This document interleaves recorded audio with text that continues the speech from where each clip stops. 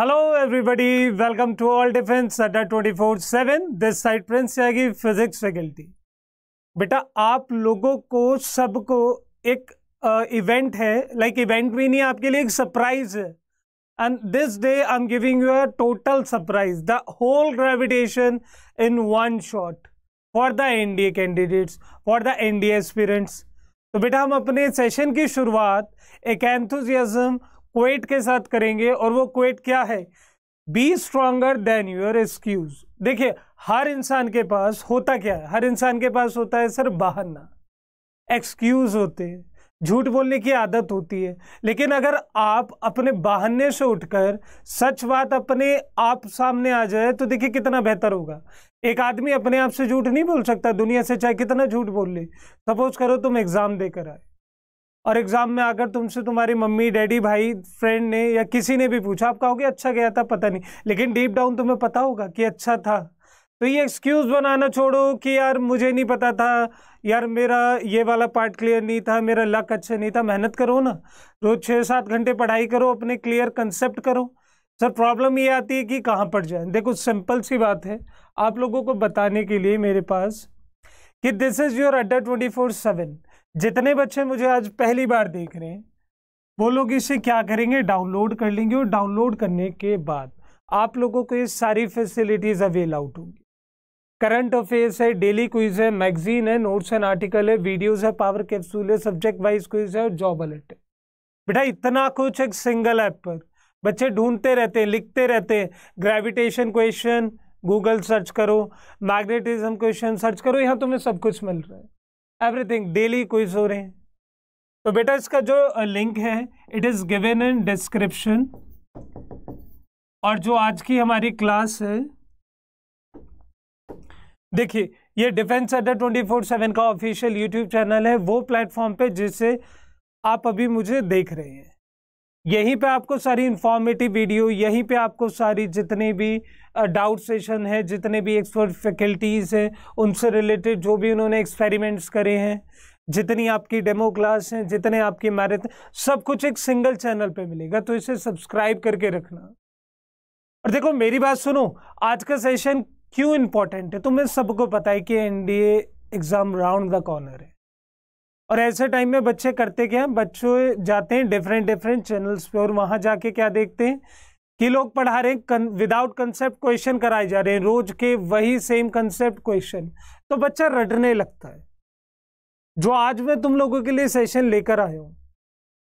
ये ultimate session है, ये देखने पे आपको पता लग जाएगा। पहले आज हम कंसेप्ट पढ़ेंगे और ग्रेविटेशन को कंप्लीटली एक शॉट में खत्म कर देंगे। बात समझ आ गई? Complete gravitation in one shot जितना ग्रेविटेशन से पूछा जा सकता है, पूछा गया है, या क्या कंसेप्ट बन सकते हैं, सब कुछ एक वीडियो के अंदर हम खत्म करेंगे। बात समझ आई? तो सेशन को शुरू करने से पहले लाइक एंड शेयर कर दीजिए और थोड़ा थोड़ा क्या करें प्रमोट करें और थोड़ा प्रे करें कि हाँ चीज़ें सब ठीक से चलेंगी। तो देखिए, आप लोग मेरे बारे में नहीं जानते तो ये मेरी पिक है, ये तो दिख रही होगी।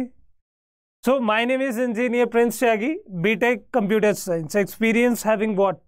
Seven plus years. Subject सा physics and mentored more than what? 50,000 plus student. और ये जो 50,000 है ये मे बी ऑनलाइन हो ऑफलाइन का रेशो अभी ऐड नहीं करा है चलिए बात करते हैं आज हम क्या पढ़ने वाले हैं देखिए टुडेज टॉपिक इज़ ग्रेविटेशन गुरुत्व आकर्षण सर, ये क्या बना हुआ है? देखिए, ये गैलेक्सी है। गैलेक्सी के अंदर वर्ल्ड्स बन रहे हैं, वेव्स बन रही हैं, तरंगे बन रही हैं। ये ये दिखा रहा है कि आपकी गैलेक्सी के बीच के बीच में देखो अट्रैक्शन फोर्स लगी रही है। यहाँ देखो ध्यान से। तो ग्रेविटेशन क्या है? ग्रेविटेशन से रिलेटेड आस्पेक्ट्स क्या है? सब चीज़ों के बारे में आज हम बात करेंगे। अच्छे तरीके से देखो। सबसे पहला टॉपिक आता है। देखो, सबसे पहले मैं तुम्हें एक बात बता दूँ। पहले इंग्लिश में, फिर हिंदी में, फिर इंग्लिश में, फिर हिंदी में। Every object in the universe attract every other body with a force which is called the force of gravitation. मैं समझाता हूँ। भाई सपोज़ करो कि तुम अर्थ पर खड़े हाँ तुम अर्थ पे क्या लगा रहे हैं? सर फोर्स लगा रहे और आपको पता है न्यूटन का थर्ड लॉ है। न्यूटन का थर्ड लॉ क्या है कि यदि आप पर कोई फोर्स लगा रहा है, तब आप फोर्स लगाएँगे। तो आपके दिमाग में है सर, हम फोर्स क्यों लगा रहे हैं? ऑब्वियसली बात है अर्थ तुम पे फोर्स लगा रही होगी। सपोज़ करो, ये तुम्हारी अर्थ है अर्थ ने तुम्हारे ऊपर फोर्स लगाना शुरू करा। तो जो अर्थ फोर्स लगाती है, उसे कहते हैं ग्रेविटी समझे मेरी बात? और सर ग्रेविटेशन का मतलब क्या है? कि इस यूनिवर्स में हर एक ऑब्जेक्ट भाई सड़क पे चलने वाले दो वाहन अपने आपस में फोर्स लगाते हैं। मेरे बाल दूसरे बाल के साथ फोर्स ऑफ़ अट्रैक्शन खेल रहा है। इन दोनों के बीच में फोर्स ऑफ़ अट्रैक्शन है। तो यूनिवर्स में कहीं भी बात हो रही है, उसे क्या कहेंगे? ग्रेविटेशन बात समझ आ गई? लेकिन अगर अर्थ की बात हो रही है तो उसे बोलते हैं ग्रेविटी इस बात को अपने दिमाग में कुछ अच्छे तरीके से डाल लो. अगर के, जैसे तुम्हारे घर पे नाम होते हैं ना दो घर वाला नाम होगा गोलू, राहुल, छोटू, और जब तुम बाहर निकल जाते हो, तुम्हारा नाम शैलेंद्र, हर्ष. ठीक है? ऐसे बड़े बड़े नाम. तो अगर हम इसे धरती पे बात करें, पृथ्वी पे बात करें तो ग्रेविटी बाहर सबके लिए gravity gravitation is one of the four class of interaction देखिए, आपको पता है कि चार तरीके की फोर्स पाई जाती है। चार तरीके की फोर्स की बात करें तो सबसे पहले आती है गुरुत्वाकर्षण इलेक्ट्रोमैग्नेटिक मतलब विद्युत चुंबकीय बल स्ट्रॉन्ग न्यूक्लियर फोर्स जिसे आप लोग हाइड्रोनिक फोर्स भी बोलते हैं, और या फिर आती है लीस्ट वॉट न्यूक्लियर फोर्स जिसे वीक बोला जाता है। और आप लोगों को एक बात भी पता होनी चाहिए। देखो, यहाँ पे क्या है? It is the gravity that holds the universe what together English में बात करिए, फिर हिंदी में आएँगे। Although of the negligible importance in the interaction of elementary particle, gravity is the primary importance in the interaction of object ये ये कहना चाह रहे हैं कि यदि यूनिवर्स के अंदर जो ऑब्जेक्ट है, भाई सपोज़ करो इन दोनों के पास कोई मास होगा, इन दोनों के बीच में कोई रेडियस होगा, भाई इन दोनों के बीच में एक फोर्स लग रही है और उसे बोलते हैं ग्रेविटी अब एक बात तो बताओ मैं कह रहा हूँ, इस मार्कर को मैं ऊपर फेंक रहा हूँ तो केवल इसके ऊपर ग्रेविटी लग रही है कि इसके ऊपर और कोई बल नहीं है? इस पर रेजिस्टेंस है, हवा का बल है। इस पर बाइंसी लग रही है। इसे पानी में डाल दो थ्रस्ट फोर्स लगेगी। तो ये कह रहे हैं, केवल हम यहाँ पे बात किसकी करेंगे? ग्रेविटी अब जो एक बार हिंदी में पढ़ लो। तो देखो ग्रेविटी बेसिकली क्या था? ये न्यूटन बाबा बैठे थे, आराम से सो रहे थे, लेकिन इन्होंने क्या देखा कि इनके सर के ऊपर एक फल गिर गया। तब इन्हें पता चला कि हर चीज़ धरती के केंद्र में जाती है। तो धरती के केंद्र से एक बात मुझे समझ आएगी, देखो ये हिंदी में क्या है। ब्रह्मांड के प्रत्येक वस्तु प्रत्येक दूसरी वस्तु को एक बल से आकर्षित करती है, उसे गुरुत्वाकर्षण कहा जाता है। गुरुत्वाकर्षण प्रकृति में पाए जाने वाले चार वर्गों में निम्नलिखित है। सबसे पहला कौन सा है? गुरुत्वाकर्षण फिर है विद्युत चुंबकीय बल, फिर है हाइड्रोनिक बल, प्रबल नाभिकीय बल, और दूसरा है कमज़ोर परमाणु या नाभिकीय बल। और आपको पता है, ये बात मैंने बता दी। देखो, ये सिंपली आपको ये कहना चाहता है कि जो आपकी अर्थ है, आप लोगों को पता है ऊपर और नीचे से कैसी है। फ्लैट है, इसे कहते हैं जियोइड क्लियर? है और इसका अपना एक सेंटर है। आप लोग एक देखेंगे कि यहाँ पे कोई बॉडी है। अब भाई, ये बॉडी का इसके ऊपर एक फोर्स लग रही है। यहाँ पे कोई और चीज़ खड़ी है, उस पर एक फोर्स लग रही है। यहाँ तक कि धरती पे मौजूद हर चीज़ में सर उस चीज़ के अंदर क्या आ सकता है? देखो, तुम्हारा जो एटमोसफेयर है, तुम्हारा जो वायुमंडल है, और उस वायुमंडल में चार तरीके के मंडल हैं। कौन कौन से? ट्रोपोस्फेयर स्टेटोस्फेयर मिजोस्फेयर और थर्मोस्फेयर। मतलब क्षोभ मंडल समताप मंडल, मध्य मंडल और आखिर में क्या है? ताप मंडल। ये चारों के चारों के ऊपर भी केंद्र से एक बल लगना चालू हुआ, जिसे कहा जाता है क्या? ग्रेविटेशन। क्या इतनी बात समझ आ गई? तो सर ग्रेविटेशन वो फोर्स है जिसकी ओरिजिन जिसकी उत्पत्ति, जिसका ओरिजिन कहाँ से होता है? सर, इसका ओरिजिन केंद्र से होता है, एक फिक्स पॉइंट से होता है। और ये हर वस्तु को अपनी ओर आकर्षित करती है, धरती के सरफेस पे सतह पर रोक के रखती है। मेरी बात समझ आ गई सबको? और यही वजह है, देखो, धरती का गुरुत्वाकर्षण इतना अधिक है और चाँद के ऊपर एटमोसफेयर ही नहीं है, तुम्हें इतना पता होना चाहिए। चाँद के ऊपर कोई वायुमंडल नहीं है, क्योंकि वहाँ का गुरुत्वाकर्षण इतना हल्का है कि लोगों को तो छोड़ दो। वो वहाँ की हवा को नहीं रोक के रख सकता। वहाँ की हवा को नहीं रोक पा रहा तो वायुमंडल बनेगा कैसे? वहाँ पे चीज़ें फ्लोट करती रहती हैं और ये बात आप लोगों को पता होगा कि यदि यदि आपका अर्थ के ऊपर जो वेट है, वो 600 न्यूटन है। तो मानोगे मेरी बात? आपका जो वेट है मून के ऊपर कितना होने वाला है? ये होने वाला है हंड्रेड न्यूटन सौ न्यूटन हो जाएगा। क्लियर हो गई मेरे बच्चे बात? चलो। आ जाओ, इससे रिलेटेड अब मेरे दिमाग में ना कुछ सवाल आते हैं। मेरे दिमाग में ये बात आती है कि जब यार हमें एक बात बता दी थी न्यूटन ने, जब उनके ऊपर क्या गिरा था? सेब गिरा था। कम वक्त पेड़ गिर जाता तो आज ये पढ़ना नहीं पड़ता। लेकिन सर, मैं आपको एक बात बताना चाहता हूँ। कि यहाँ पे एक सिंपल लाइन लिखी है कि every each and every object in this universe attract each other अगर यार ये बात है तो मुझे ये बताओ ना, जो सड़क पे चल रहे हमारे दो व्हीकल हैं सपोज़ करो सड़क पे दो फॉर्च्यूनर जा रही हैं सेम मास की, वो आपस में जुड़ क्यों नहीं जाती? भी अट्रैक्शन फोर्स से जुड़ जाना चाहिए। क्या वजह है? क्यों नहीं जुड़ती? अगर मून और अर्थ के बीच में अट्रैक्शन फोर्स है ये दोनों ज्वाइन क्यों नहीं हो जाते? अब मेरी कुछ बातों का ध्यान समझना। अगर नहीं आता तो सुन लो। सॉरी ये तुम्हारी अर्थ है। अर्थ के ऊपर एक गाड़ी यहाँ मौजूद है, एक गाड़ी यहाँ मौजूद है। सुनना मेरी बात को। अगर इसका मास एम टू है, इस गाड़ी का मास एम वन है और अर्थ का मास एम है तो सर मुझे दिख रहा है कि एम एम एम एम ये ये दोनों की वैल्यू इससे ज़्यादा है। किससे ज़्यादा है, सर? ये इससे ज़्यादा एम वन एम टू मतलब मैं ये कह सकता हूँ कि किसी भी वस्तु और धरती के मध्य लगने वाला बल दोनों वस्तुओं के मध्य लगने वाले बल से अधिक होगा। आप कहोगे, सर, आपको कैसे पता कि अगर धरती पे दो बॉडी है तो उन दोनों बॉडी के जो मास अबे ऑब्वियस ही बात है, धरती का मास कितना है? छह गुना दस की पावर चौबीस किलो। और उसका कितना है, तुझे पता तो है?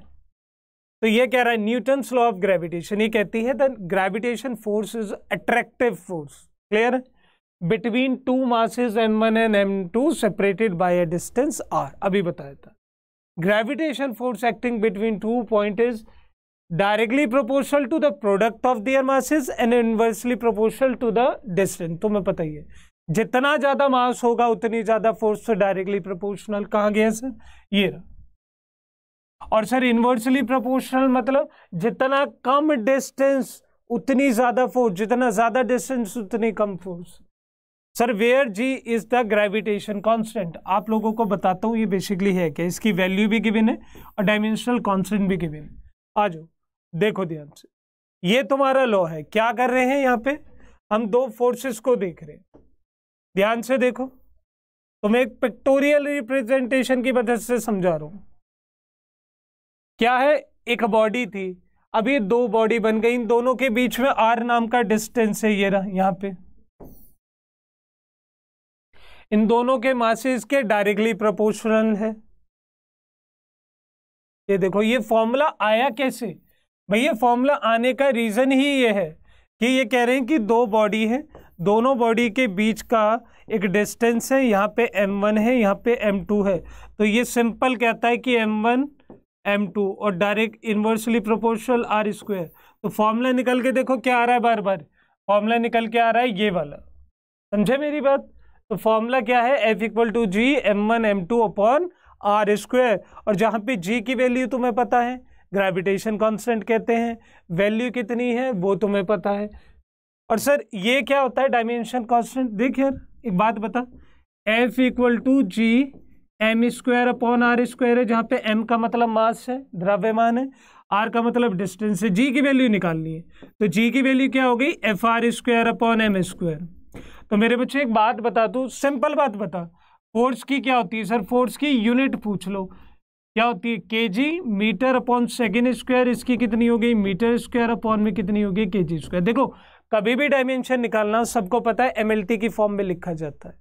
और जो ये पावर है, ये रिजेंबल किसे करती है? यूनिट को। मतलब जो यूनिट पे पावर होगी, वही किस पे आ जाती है डायमेंशन पे। तो के जी से के जी क्या कर दिया? कैंसिल तो यहाँ आ गई के जी इनवर्स क्योंकि के जी ऊपर गया। एम की पावर कितनी हो गई? थ्री और एस कितना हो गया? माइनस टू अब लगा देना। के जी के लिए एम लिखते इसके लिए टी तो देख ले, कितना इसी आया। मैंने तुम्हें डायरेक्टली निकालना भी सिखा दिया कि निकालते कैसे तो ये था इंग्लिश वाले बच्चों के लिए। हिंदी वाले देख लो बच्चों। क्या है न्यूटन का गुरुत्वाकर्षण का नियम है। बता चुका हूँ दोबारा बता रहा हूँ। गुरुत्वाकर्षण बल दो द्रव्यमान m1 m2 मतलब दो बॉडी है जिनका मास कितना है? M1 और m2 है। तो हम लोग यहाँ क्या देख रहे हैं? दोनों के बीच में एक रेडियस है जो फोर्स लग रही है वो डायरेक्टली प्रोपोर्शनल m1 m2 के है। और इनवर्सली प्रोपोर्शनल आर स्क्वायर के है। तो बेटा जब इसे क्लियर करते हैं तो क्लियर करने पे क्या आता है? F equal to G m one m two upon कितना? आर स्क्वेयर तो देखो, सारी बातें लिखी है। ये जो बल है, ये गुरुत्वाकर्षण बल, उनके द्रव्यमान के उत्पाद के अनुपाती होता है मतलब उनके गुणा के। और विद्युत क्रमांक अनुपाती होता है उनकी दूरी के वर्ग के। मतलब ये दिख रहा है ना? F is inversely proportional to r square जब फॉर्मूला निकालते हैं तो ये सारे विमेय सूत्र डायमेंशन तुम्हारे आगे क्लियर है? आ जाओ अब कुछ अलग बात पढ़ते हैं। मे बी तुम लोगों ने ना आज तक पढ़ी हो।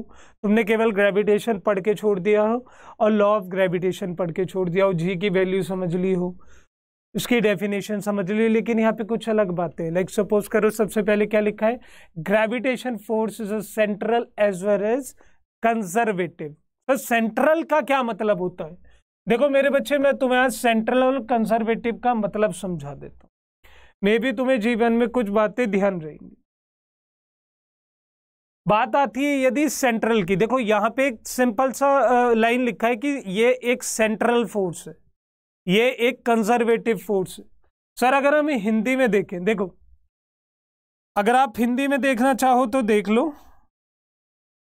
हिंदी में क्या लिख रखा है? केंद्रीय बल है। तो अगर मैं इसे दोबारा देखूँ तो क्या देख रहा हूँ? देखो इन्होंने कहा है कि ये एक सेंट्रल फोर्स है।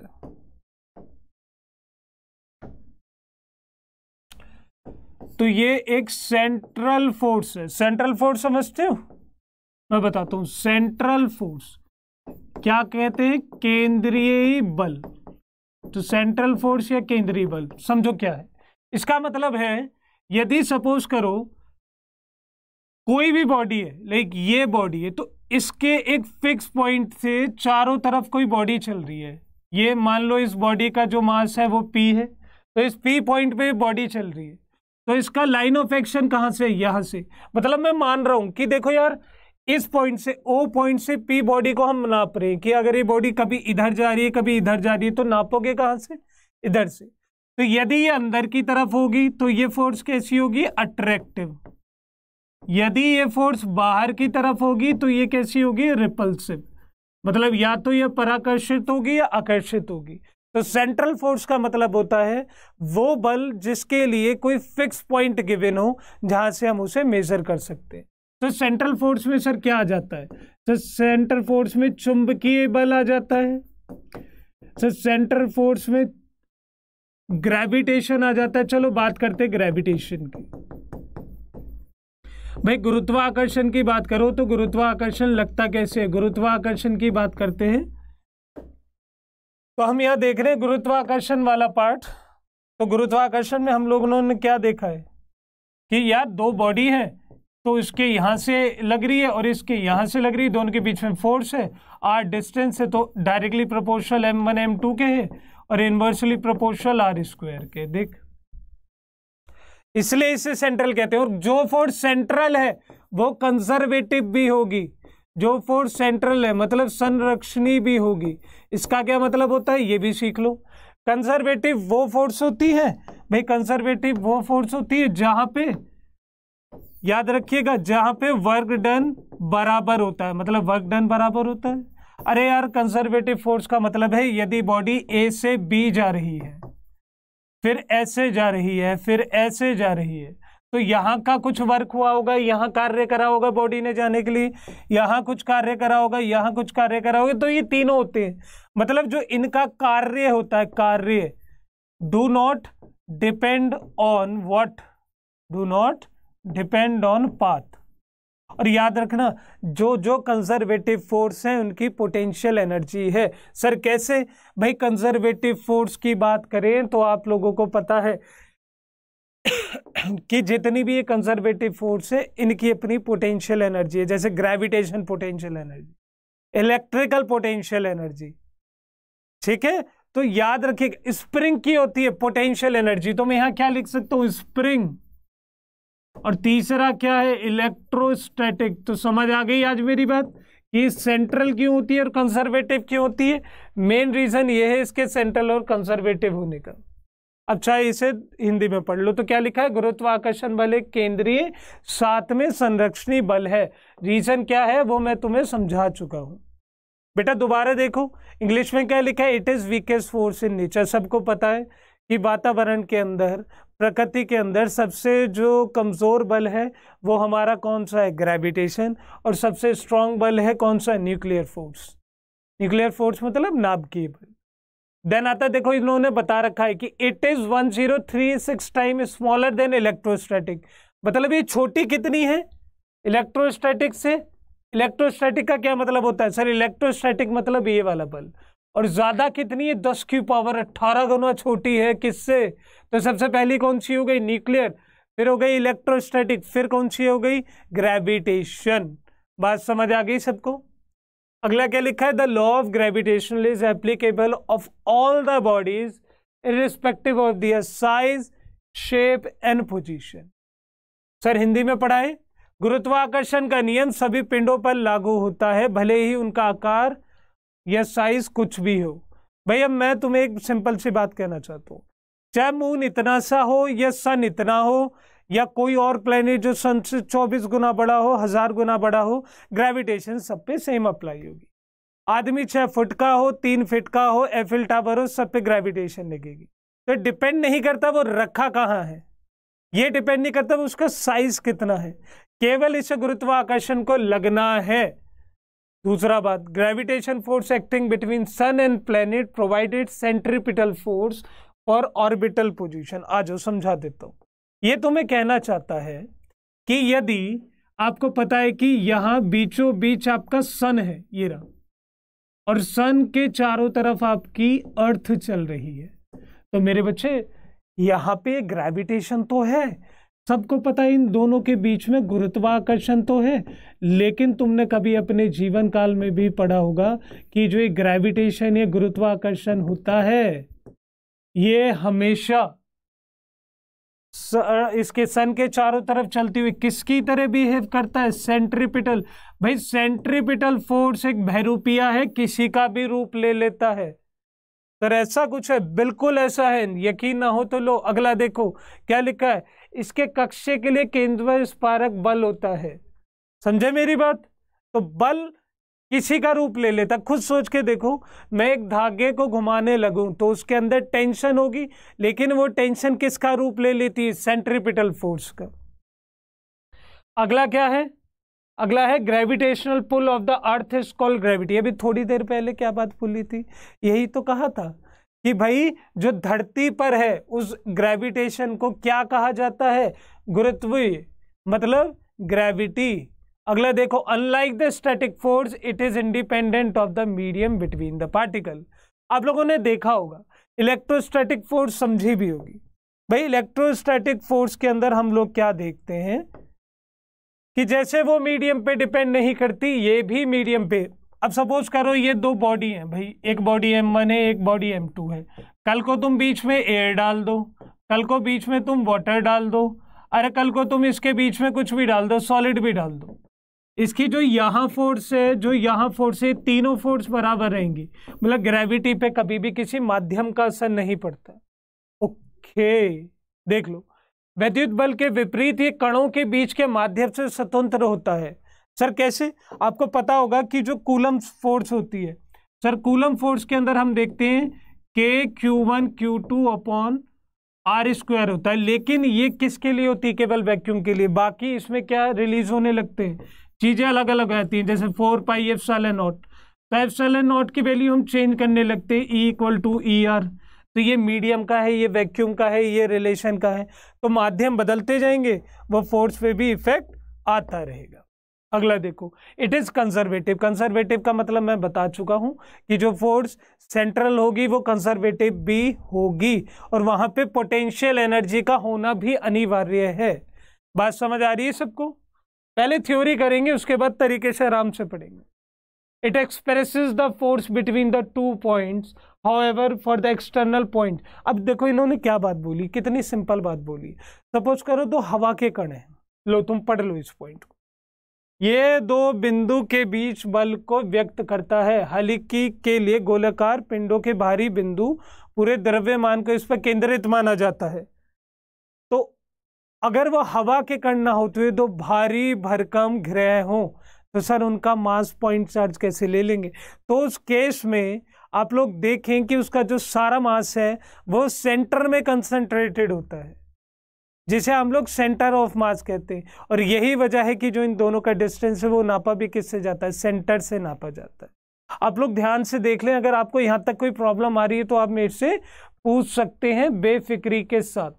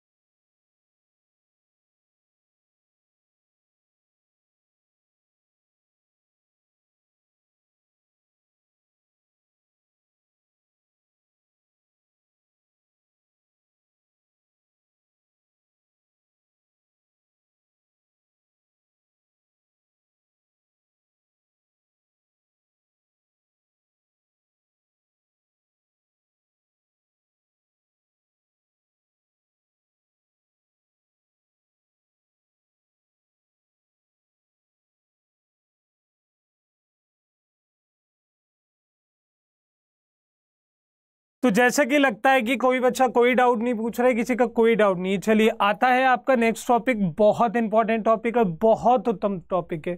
इस टॉपिक में आधे से ज़्यादा बच्चा फेल हो जाता है। यहाँ क्वेश्चन आता है एक्सलरेशन ड्यू टू ग्रेविटी चलो, मैं पहले तुम्हें समझा देता हूँ, उसके बाद ये थ्योरी पढ़ लेना। भाई, मैंने आप लोगों से एक सिंपल बात कही। अब वो सिंपल बात क्या है? सिंपल बात कुछ इस तरीके से कि सपोज़ करो कि मैंने यहाँ पे एक वर्ड लिखा। मैंने लिखा यहाँ पे एक्सलरेशन ड्यू टू ग्रेविटी तो जैसे ही मैंने यहाँ पे लिखा एक्सलरेशन ड्यू टू ग्रेविटी देखिए किताबों में ज्ञान भरपूर है, लेकिन बात है समझने वाले की। किताबों में तो इतना कुछ लिखा है कि तुम्हें यहाँ पे भी आने की नीड नहीं, लेकिन हर इंसान की बात हर इंसान नहीं समझ पाता। देखो एक्सेलरेशन ड्यू टू ग्रेविटी मतलब ग्रेविटी की वजह से किसी बॉडी के अंदर एक्सेलरेशन आ रहा है। सपोज़ करो ये आपकी अर्थ है, ये रही। भाई ये आपकी अर्थ है ऐसे। तो अर्थ में आपने क्या देखा है? कि अर्थ ने आप लोगों के ऊपर एक फोर्स लगाई और सबको पता है कि हम धरती पे खड़े क्यों हैं? क्योंकि धरती हम पे फोर्स लगा रही है। अगर अर्थ का मास एम है, इस बॉडी का मास स्मॉल एम है, यहाँ का रेडियस आर है तो आपको पता है क्या आगे फॉर्मूला एम एम अपॉन कितना आर स्क्वायर मानते हैं इतनी बात? तो सर, हमें इतना भी पता है कि according to third law Newton का तीसरा नियम एक्शन रिएक्शन वो ये कहता है कि पहली फोर्स अगर लग गई है तो दूसरी फोर्स लगेगी और दोनों बराबर होंगी। तो उधर से भी एक फोर्स लग रही है। तो जो फोर्स ग्रेविटेशन के अपोजिट में लगाई जाती है, उसे हम लोग कहते हैं वेट वेट मतलब F equal to M G मतलब बाहर। तो आज एक कंसेप्ट अपने दिमाग में क्लियर कर लेना कि किसी बॉडी का भार का मतलब होता है ग्रेविटेशन के अपोजिट में लगने वाला बल। तो आपको पता है, ये दोनों फोर्स इक्वल रखी तो डब्ल्यू इक्वल टू एफ़ यहाँ पे कितना है? M G equal to G M M कितना? आर स्क्वायर तो एम से एम कैंसिल जी की वैल्यू कितनी आ गई? जी की वैल्यू आ गई G M upon R square अब बच्चे पूछते हैं, सर, ये बेसिकली है क्या? बेटा, एक बात बता तुम अर्थ पे खड़े हो। अर्थ ने तुम पे फोर्स लगा रखी है। तुमने अर्थ पे फोर्स लगा रखी है। क्या ये पॉसिबल है तुम अर्थ को हिला दोगे? नहीं सर आप छोड़ो, जितनी होल जनता है, पूरा पॉपुलेशन है, वो नहीं हिला सकता। लेकिन अर्थ आपको हिला सकती है। तो ध्यान से देखना, अर्थ ने आपके ऊपर क्या लगा रखी है? फोर्स उस फोर्स का नाम क्या है? ग्रेविटी ग्रेविटी की मदद से वो आपको खींच रहा है मतलब अट्रैक्ट कर रहा है। तो जब आपको ये ग्रेविटी लगा रहा है, और आपको पता है न्यूटन का दूसरा नियम न्यूटन का दूसरा नियम क्या कहता है? न्यूटन का दूसरा नियम कहता है, यदि फोर्स होगी तो एक्सलरेशन भी होगी। तो तुम्हारे दिमाग में बात आ गई है कि ग्रेविटी की वजह से न्यूटन के दूसरे नियम में इस बॉडी के अंदर हम लोगों में एक एक्सलरेशन क्या हो रही है? ओरिजिनेट हो रही है। और सर हम जो लगा रहे हैं फोर्स उससे कोई एक्सलेशन नहीं आ रही। आ तो रही है, वो नेग्लिजिबल है स्मॉल अमाउंट है, उससे अर्थ का कोई फ़र्क नहीं पड़ रहा। तुम क्या सोच रहे हो? तुम इतने ताकतवर हो गए कि तुम अर्थ को हिला दोगे तेज तेज नहीं, अर्थ तुम्हें हिलाएगी। आ जाओ, वापिस आते हैं उसी बात पे तो ध्यान से देख लो। The uniform acceleration produce in a free falling object due to the gravitational pull of the earth is known as acceleration due to gravity बात समझ आ गई? हिंदी में पढ़ लो, गुरुत्वीय खिंचाव के कारण स्वतंत्र रूप से गिरने वाली वस्तु में उत्पन्न एक समान त्वरण पृथ्वी को गुरुत्वाकर्षण त्वरण के रूप में जाना जाता है, जो मैं तुम्हें समझा चुका दूसरा क्या है? It is denoted by G small G से डिनोट करते हैं, सब देख पा रहे हैं। दूसरा इसकी यूनिट क्या है? यूनिट भी तुम्हारी आँखों के सामने लिखी है। बेटे यूनिट क्या है? यूनिट की बात करें तो यूनिट है मीटर पर सेकेंड और क्वांटिटी कैसी है? वेक्टर और इसका डायरेक्शन क्या है? सेंटर ऑफ़ अर्थ सबको पता है। अगर फोर्स इधर लग रही है तो इसका डायरेक्शन भी क्या हो गया? सर इस तरफ़ की हो। देख लो। क्योंकि वो खींच के इधर ला रही है। The value of G is independent of the mass of the object which is falling sir, ऐसा क्यों? भाई, तुम्हें बता तो दिया। ये कहना चाह रहा है, जो वस्तु पे एक्सेलरेशन उत्पन्न हो रही है, मानो तुम खड़े हो तो तुम्हारे मास पे डिपेंड नहीं करेगी। तुम छोड़ो, हाथी खड़ा हो। हाथी छोड़ो। कोई पुराना जो ये होते थे ना मैमथ ये बड़े बड़े हाथी होते ये खड़े हो, डायनासोर खड़े हो एफिल टावर खड़ा हो, डिपेंड ही नहीं करेगी, क्योंकि हम सर फॉर्मूला देख के आए हैं और फॉर्मूला हमें क्या बताता है? फॉर्मूला बताता है जी बराबर जी एम स्क्वायर तो यहाँ पे हम लोग एक बात देखेंगे कि इसकी वैल्यू कितनी हो गई? ये हो गई जी एम स्क्वायर तो जी की वैल्यू कितनी है? G equal to G M square तो ये डिपेंड ही रेडियस पे या मास पे करती है। बाकी बातें तुम देख पा रहे हो। ये सब चीज़ें। जी का मान उस वस्तु के द्रव्यमान पे निर्भर नहीं करता। और जी की वैल्यू क्या बता रखी? जी की वैल्यू है 9.8 और वो भी कहाँ पे? ये वैल्यू केवल सरफेस पर होगी। बात समझ आ गई? सतह पर होगी। इतनी बात सब समझ लो अच्छे ढंग से, अच्छे तरीके से। चलिए। अब देखो क्या होता है कि हमने ग्रेविटेशन तो निकाल लिया, लेकिन दिक्कत ये आती है कि अर्थ की जो शेप है वो कॉमन नहीं है। अर्थ ऊपर और नीचे से फ्लैट है साइड में से कर्व है। इस शेप को कहते हैं जियोइड और अगर ये कंप्लीट होती सर्कल टाइप की तो इसे बोलते हैं स्फीयर मेरी बात समझ पा रहे हैं? ऊपर पोल से, ध्रुवों से ऐसे चपटी है और तुम्हारी, जैसे एक संतरा, और साइड में से कर्वे इसे जियोइड बोलते हैं स्फेयर नहीं। तो अगर शेप अर्थ की ऐसी है तो ध्यान से देखो यहाँ पे कुछ अर्थ की शेप ऐसी है, ये रही। मैं मार्क कर रहा हूँ, देखना। यहाँ पे अर्थ की शेप ऐसी है, यहाँ पे अर्थ की शेप ऐसी है। तो सवाल आता है और बहुत अच्छा और उत्तम सवाल आता है और तुम लोगों से पूछा जाता है कि पृथ्वी के आकार की वजह से क्या इफ़ेक्ट आते देखो, और कोई बच्चा होता, मैं समझा देता। अब समझो, देखो। मैं तुमसे एक बात कहता हूँ। बात क्या है, सुन लेना। समझाने के तौर पे बता रहा हूँ, ये तुम्हारी अर्थ है। तो यहाँ पे ये फ्लैट है, यहाँ पे ये फ्लैट है। अब देखो, यहाँ का एक रेडियस होगा, एक रेडियस यहाँ का होगा। तो आप लोग देख रहे हैं कि जो यहाँ का रेडियस होगा, उसे कहते हैं आर ई क्यू यहाँ का जो रेडियस है, उसे कहते हैं आरपी खुद सोच के देख, ऊपर से दबा दी है तो आरपी रेडियस जो कम होगा किससे? आर क्यू से। और सर, मैं सीख के आया हूँ G equal to G M upon R square मतलब अगर आर की वैल्यू कम होगी तो जी की वैल्यू ज़्यादा होगी। ध्यान से देख ले। फॉर्मूले को पढ़ना सीख ले, जो नीचे होती है, उसे कम करने पे दूसरे वाला बढ़ जाता है। तो सर, यहाँ पे जी की वैल्यू ज़्यादा होगी पी पे और इक्वेटर की वैल्यू कम होगी। मानते हो या नहीं मानते? नहीं मानते तो आ जाओ वापस। क्या लिखा है? और देख लो, क्या लिखा है? Weight is maximum at pole sir, ऐसा क्यों हो रहा है? खुद सोच के देख भाई वेट का फॉर्मूला क्या होता है? वेट का मतलब होता है एम जी डब्ल्यू किस पे डिपेंड करेगा? डब्ल्यू जी पे डिपेंड करेगा। डब्ल्यू मैक्सिमम कहाँ होगा? जहाँ जी मैक्सिमम होगी। और जी की वैल्यू मैक्सिमम कहाँ पर है? जी की वैल्यू मैक्सिमम है पोल्स पे। पोल्स मतलब ध्रुव। और जी की वैल्यू मिनिमम कहाँ पर है? इक्वेटर पे। क्लियर है? तो देख ले, ये जी की वैल्यू पोल्स में मैक्सिमम है, इसलिए आदमी का वज़न। तो जितनों को ऐसा लग रहा है कि उन्हें खाया पिया लग नहीं रहा, वो खूब प्रोटीन के डिब्बे मार रहे हैं। दस दस रोटी खाते हैं तो बेटे पोल्स पे चले जाओ, तुम्हारा वज़न बढ़ जाएगा। ये रहा। तो जी की वैल्यू मिनिमम कहाँ पर? जी की वैल्यू मिनिमम इक्वेटर पर, और अगर जी की वैल्यू मिनिमम है इक्वेटर पे तो उसका वज़न भी मिनिमम होगा इक्वेटर पे। बहुत बढ़िया बच्चे, बहुत। अब आ जाओ इसे पढ़ लो आराम से अपने तरीके से। ये तुमसे क्या कह रहा है? ये कह रहा है acceleration due to gravity is elliptical सबको पता भाई इलिप्टिकल नहीं है। पहली बात तो ये है कैसी? Geoid is diameter at the pole is approximately 42 kilometre sir, क्या बोला?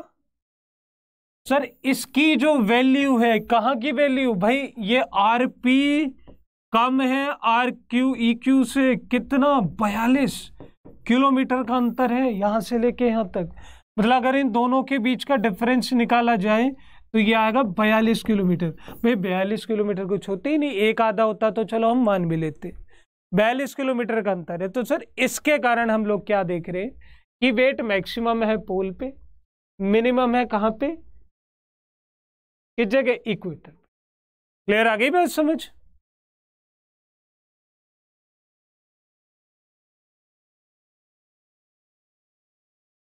हिंदी में पढ़ लो, इंग्लिश में पढ़ लो, ध्यान से देख लो। यहाँ एक बात इसे भी पढ़ लो लो। न्यूनतम ध्रुवों पर अधिकतम है, ये सब कुछ लिख। अगला देख लो। अगले में क्या लिखा है? अगला पॉइंट आता है due to rotation of earth about its own axis मतलब पृथ्वी का अपनी धुरी पर घूमना। भाई पृथ्वी है, घूमेगी। सर, ऐसे रखी होगी और ज़ोर ज़ोर से ऐसे घूम रही होगी। अभी तो आधो को यही नहीं पता। क्या नहीं पता? आधो को यही नहीं पता, धरती घूमती कैसे?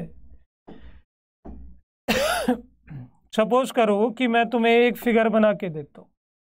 यहाँ से तो नहीं बनेगी। मैंने तुमसे कहा, ये तुम्हारी धरती है। तो धरती वाला पार्ट ऐसे, ये ऐसे। तो भाई ये घूम रही होगी इस एक्सिस पे, ये रही और ये टिल्ट होके घूमती है भाई टिल्ट होके घूम रही है कहीं ना कहीं। ऐसे घूमती है, ऐसे। देखो ऐसे, ये ये, दिख गई? ये रही ये रही ये रही। तो सर, जब टिल्ट होके घूम रही है तो हम लोग क्या देखते हैं कि टिल्ट होने की वजह से यहाँ पे एक एंगल बनता है। सर, ये घूम रही होगी तो यहाँ पे एक एंगुलर वेलोसिटी बन रही होगी। मतलब एंगुलर वेलोसिटी अब एक बात बता एंगुलर वेलोसिटी मतलब कोणीय वेग बन रहा होगा। अब कोणीय वेग बनने की वजह से मैं क्या देख रहा हूँ, इसके जी पे क्या इफ़ेक्ट आ रहा होगा? मतलब क्या जी बदल रहा होगा? सर जी के फॉर्मूले तो मैं G M upon R square है। लेकिन एक बात बताऊँ डब्लू के फॉर्मूले में फॉर्मूला क्या होता है? पता है तुझे?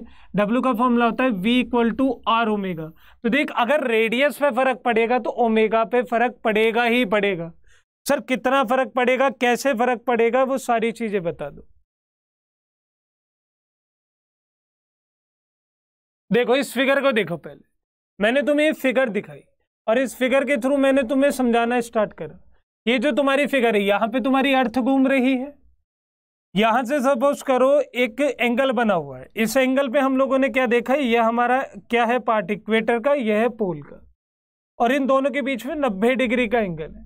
सर, जब हमारी कोई बॉडी इसके चारों तरफ़ चक्कर लगा रही होगी, तुम्हें बताया सर्कल में चलने वाली हर वस्तु पे एक बल लगता है सेंट्रिपिटल तो या तो ऐसे लिख लो, नहीं तो क्या लिखोगे? ओमेगा स्क्वायर सर, जब कुछ ही सारा सॉल्व करते हैं तो पता है फॉर्मूला क्या आता है? फॉर्मूला आता है G dash equal to G R omega square cos square alpha दोबारा लिख देता हूँ, ले।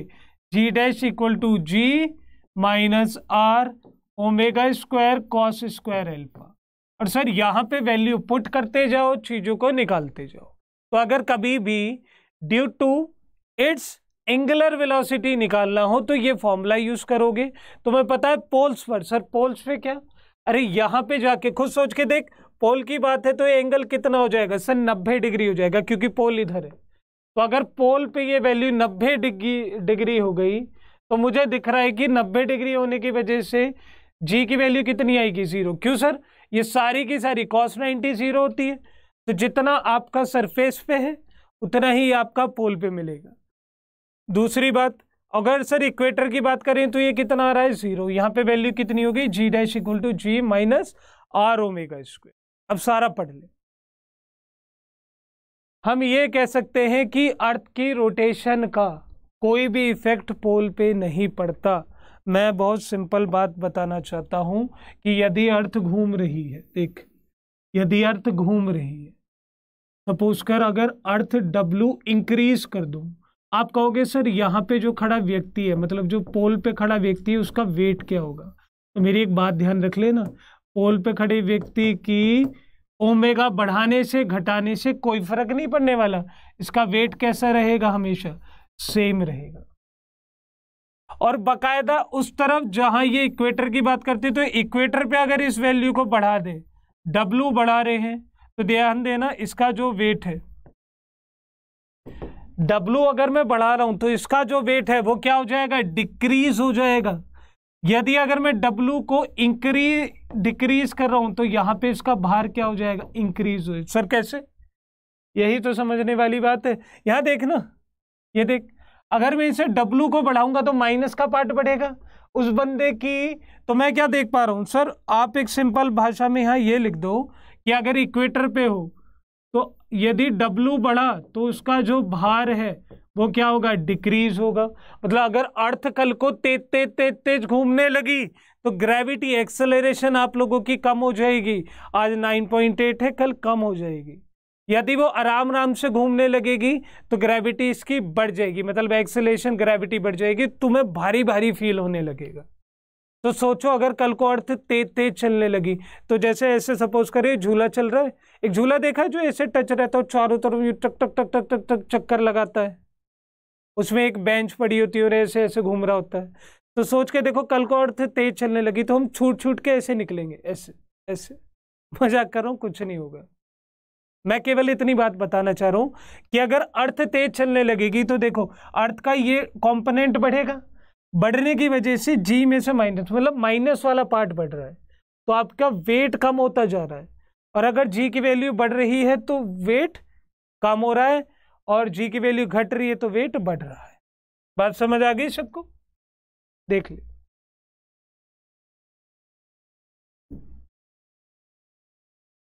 तो देखो the value of G is minimum at equator if the earth step if rotation about is own axis अगर अर्थ ने रुकना छोड़ दिया, अगर अर्थ ने अपना काम करना, विशुद्ध रेपा पे जी का मान न्यूनतम होता है, यदि पृथ्वी अपनी ध्रुवों के चारों ओर घूमना बंद कर दे तो ध्रुव पर जी अपरिवर्तित रहता है, लेकिन डब्ल्यू आर से बढ़ता है भूमध्य रेखा पर। बात समझ आ गई सबको?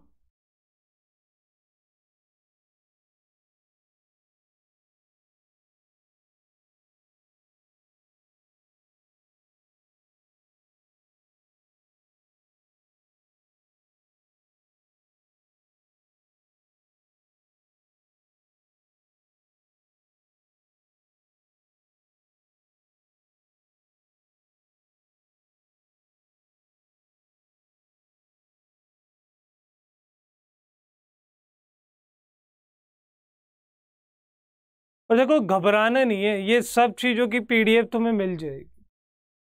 पीडीएफ भी मिल जाएगी, सब चीज़ें मिल जाएँगी, बस थोड़ा सोचना है, विचारना है, और कुछ नहीं।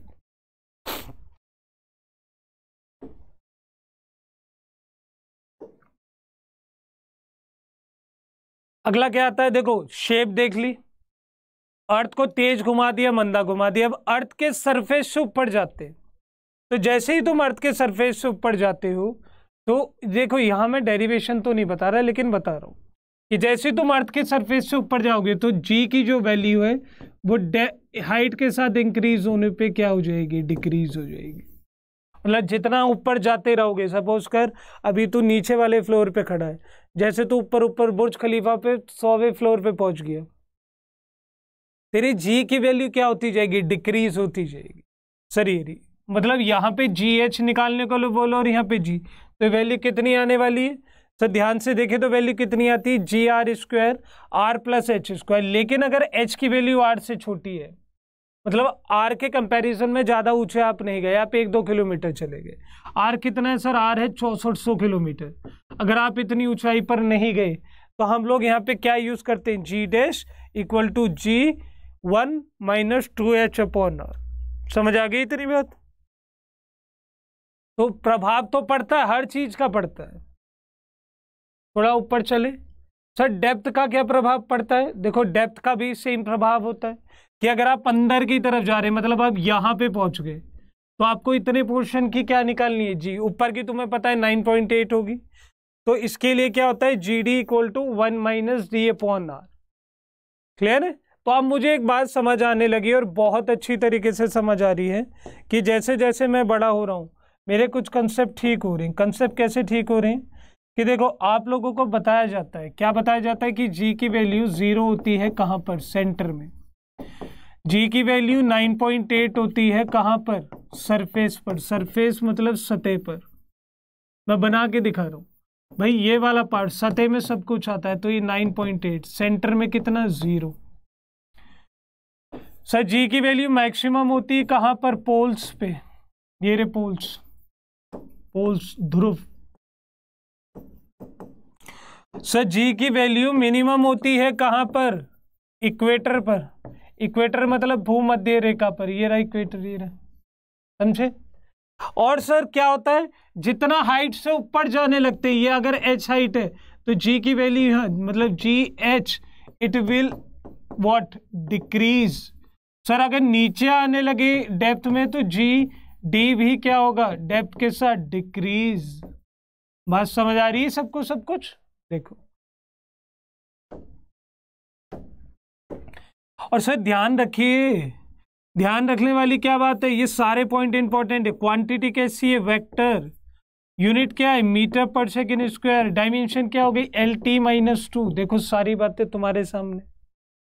अगला देखें तो हम अगले पार्ट में क्या देख पा रहे हैं कि जैसे जैसे डब्लू बढ़ता है तो पोल पे नो इफ़ेक्ट पोल पे नो इफ़ेक्ट लेकिन अगर बात करें इक्वेटर की तो इक्वेटर का मैंने तुम्हें बता दिया है कि यदि डब्लू बढ़ रहा है तो जी डिक्रीज होगा। यदि डब्लू घट रहा है तो जी इंक्रीज होने वाला है। पूरा एक्सलेशन ड्यू टू ग्रेविटी पूरा एक पॉइंट से समझा दिए सारे कंसेप्ट समझो, तरीके से समझो, आगे बढ़ो, चीज़ों को आगे बढ़ाने में हेल्प करो।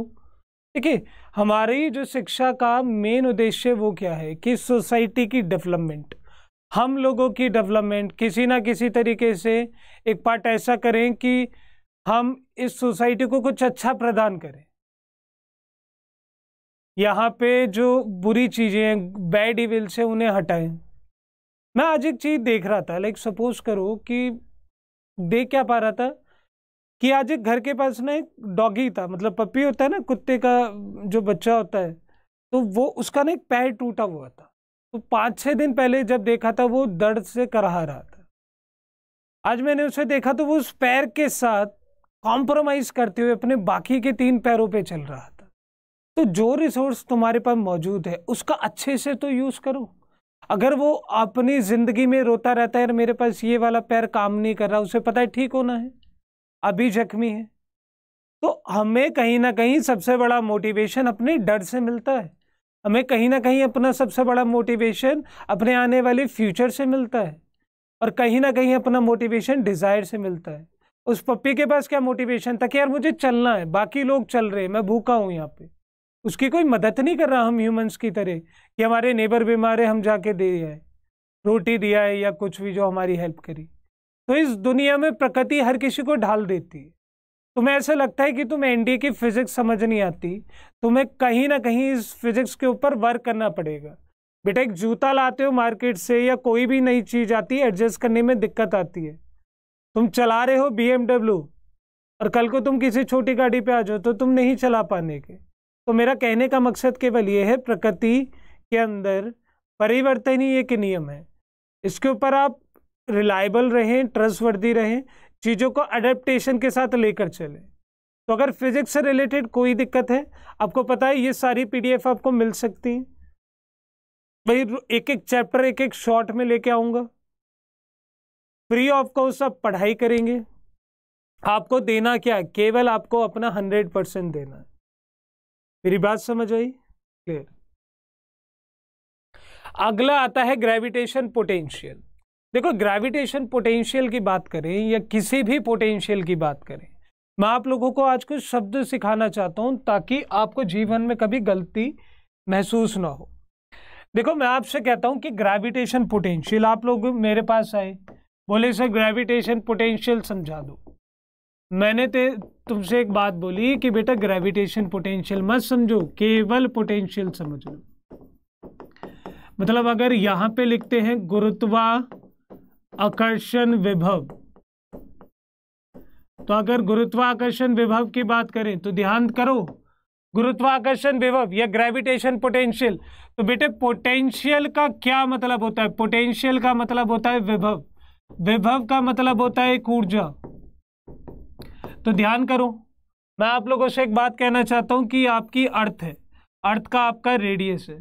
सपोज़ करो दूर कहीं से, दूर कहीं, यहाँ पे एक बॉडी रखी है, ये ये इन्फिनिटी पे है, क्योंकि इतनी दूर है कि हम इस पे नाप नहीं पा रहे।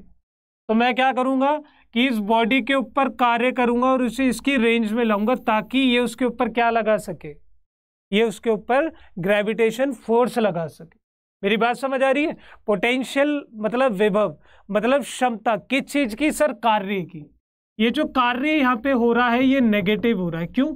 भाई इन्फिनिटी से उठा के इसकी फोर्स के अगेंस्ट ला रहे हो। ये इसे इधर की तरफ़ खींच रहा है, इसे वो उधर ले जा रहा है। तो अल्टीमेटली बॉडी कहाँ आने वाली? इधर। तो मैं इसकी विल के अगेंस्ट इसे इधर खींच के ला रहा हूँ। तुम्हें पता है फोर्स का फॉर्मूला क्या है? सर फोर्स का फॉर्मूला बहुत सिंपल है। फोर्स का फॉर्मूला होता है एफ़ डॉट डी आर जब आप यहाँ पे फोर्स के फॉर्मूले को लिखेंगे, आपने लिख दिया फोर्स की वैल्यू डाल दो सर फोर्स की वैल्यू सपोज़ करो कितनी हो सकती है, सर ये हो सकती है। इन्फिनिटी पे कोई बॉडी रखी, इस बात से तुम्हारा मतलब नहीं। एम बॉडी रखी, इसका कैपिटल एम मास है। तो हम जब सारी चीज़ों का एनालिसिस करके देखते हैं F M M upon R square dot D R ये सारी वैल्यू देखते हैं। तो आखिर में आप एक चीज़ देखेंगे, इसका फॉर्मूला क्या निकल के आया? यू विल बी अमेज्ड देखो फॉर्मूला क्या निकल के आया? W upon M minus G M upon R तो आपने किस पे वर्क करा? सर, हमने वर्क करा अपनी एक बॉडी पे। तो ये जो वर्क करा, ध्यान से देख कितना आएगा? माइनस एफ़ तो हटा दोगे अब कैपिटल जी तो capital G M M upon में कितना? माइनस आर और ये वर्क किसके ऊपर करा है? सर यही तो पोटेंशियल है। वर्क करा है इस बॉडी के ऊपर जो इन्फिनिटी पे रखी है। तो वैल्यू को डाल minus G M M upon R या कैपिटल आर कितना स्मॉल आर तो स्मॉल एम से स्मॉल एम तो वी की वैल्यू कितनी आ गई? माइनस जी एम अपॉन कितना? आर तो देख ले पोटेंशियल यहाँ से तू समझ पा रहा है मेरे बच्चे पोटेंशियल किस पे डिपेंड करती है? सर पोटेंशियल केवल कैपिटल एम कैपिटल एम का मतलब क्या है? ये capital M mass of what planet पे डिपेंड करती है? समझ आ गई? तो gravitation potential at any point in gravitation is equal to the work done per unit mass to bring a body from infinity to that point it is denoted by V naught value कितनी हो गई? Joule पर के जी क्यों? इसकी joule इसकी के जी और ये कैसी क्वांटिटी है? स्केलर क्वांटिटी है। तुम्हें पता होना चाहिए। W equal to F dot S sir ये अगर सिंपल फॉर्मूला भी देखें तो ये कैसा प्रोडक्ट है? ये प्रोडक्ट है डॉट प्रोडक्ट और किसी का भी डॉट प्रोडक्ट कैसी क्वांटिटी होती है? स्केलर क्वांटिटी होती है। स्केलर का मतलब है अदिश राशि होती है, देख ले मेरे बच्चे ध्यान से। जब कभी किसी का डॉट प्रोडक्ट निकालते हैं, उसका रिजल्टेंट अदिश आता है स्केलर आता है, किसी का वेक्टर निकालते हैं क्रॉस निकालते हैं तो वो वेक्टर आता है। फॉर्मूला क्या है? फॉर्मूला है M one L T minus two कैसे?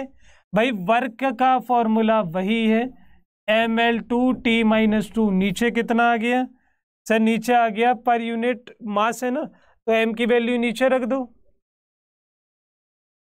सारी वैल्यू पुट करोगे। वर्क का पता है ना? देखो वर्क का क्या होता है? वर्क का होता है K G metre square upon second square तो कितना बैठा? ये बेटा M L two T minus two कोई दिक्कत? जो एनर्जी का है, वही वर्क का है। ये पुट कर दिया। नीचे कितना आएगा सर एम आएगा। तो एम का यूज़ करके इसका डायमेंशनल फॉर्मूला निकाल लेना। तो सर ये तो ग्रेविटेशन गलत दे दिया ना इन्होंने? हाँ गलत दे दिया। तो एम से एम कैंसिल कितना आ गया? L two T minus two ठीक है?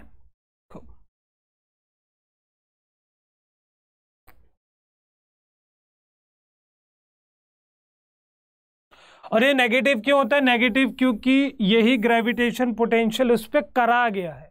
आप उसकी विल से अपोजिट लेके उसे खींच के ला रहे हो तो नेगेटिव ही तो होगा।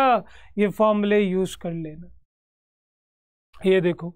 गुरुत्वाकर्षण क्षेत्र में किसी बंदू, बिंदु को सपोज़ करो यार। तुमसे कोई अलग जा रहा है, तुम क्या करोगे? तुम करोगे, यार, रुक जाओ प्लीज़ मान जाओ। या तो तुम उसे कार्य करके दोबारा से उसे खींच के लाओ। छोटे बच्चे होते हैं ना रूट जाते हैं। या तो उन्हें कहते ठीक है, तू रोता रहे आराम से, कोई दिक्कत नहीं है, चुप हो जाएगा। या आप क्या कहोगे, बेटा, आ जा। तो आप उसे अपने कंफर्ट जोन में ला रहे किसी को हिप्नोटाइज करना हो तो आप उसे अपनी फ़ील्ड में ला रहे हो। लाइक सपोज़ करो मुझे चांटा मारना है किसी की तो मैं इतने ही तो रेशो में मारूँगा, नहीं तो मैं कहूँगा, जा बेटा, लेकर आ। तो वो कहाँ ला रहा मेरी फ़ील्ड में, मेरे क्षेत्र में, मेरे प्रभाव के क्षेत्र में? तो गुरुत्वाकर्षण क्षेत्र में किसी भी बिंदु पर गुरुत्वाकर्षण क्षमता पर इकाई द्रव्यमान में किए गए कार्य के बराबर होती है। अनंत से उस बिंदु तक एक बहुत हल्का शरीर लाना। इसे वी द्वारा निरूपित किया जाता है। इसका फॉर्मूला क्या है? गुरुत्वाकर्षण क्षमता वी जी बराबर डब्ल्यू अपॉन एम और नेगेटिव ऋणात्मक होता है। रीजन है क्योंकि ये उसकी विल के अपोजिट कार्य करके आता है। और मेरे बच्चे, ये वैल्यू किसी ने गलत डाल दी। L two T minus two देख ले, समझ ले अच्छे से।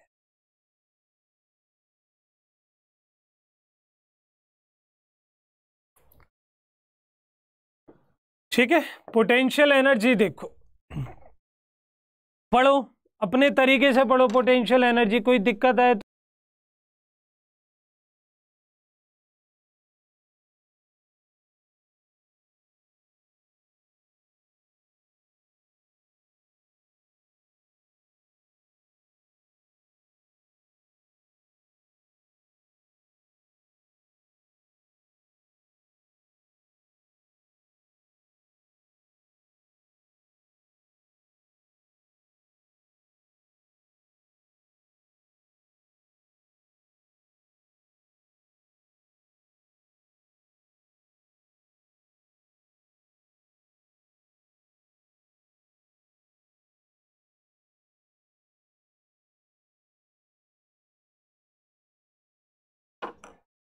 आ जाइए। अगला आता है gravitation potential energy sir potential energy क्या होती है? पोटेंशियल एनर्जी हर एक बच्चे को पता है। पोटेंशियल का मतलब होता है स्थितिज ऊर्जा। स्थितिज ऊर्जा का मतलब होता है यदि कोई वस्तु अपनी पोजीशन के, अपने आकार के, अपनी विराम अवस्था के कोई भी चीज़ अपनी बॉडी में उत्पन्न करती है तो उसे कहते हैं पोटेंशियल लेकिन यदि वो ग्रेविटी की वजह से उत्पन्न हुई है, उसे कहते हैं gravitation potential energy gravitation potential energy of an object at a point in gravitational field is equal to the work done and bringing to the infinity to that point अभी याद करो ना यार तुम। अभी थोड़ी देर पहले ही तो बताया है। क्या बताया है?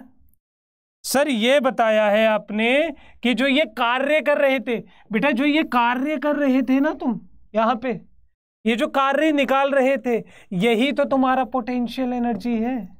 और जब इसे पर एम से डिवाइड कर दिया तो ये क्या बन गया था? ये बन गया था तुम्हारा पोटेंशियल तो सर इसका कहने का क्या मतलब है?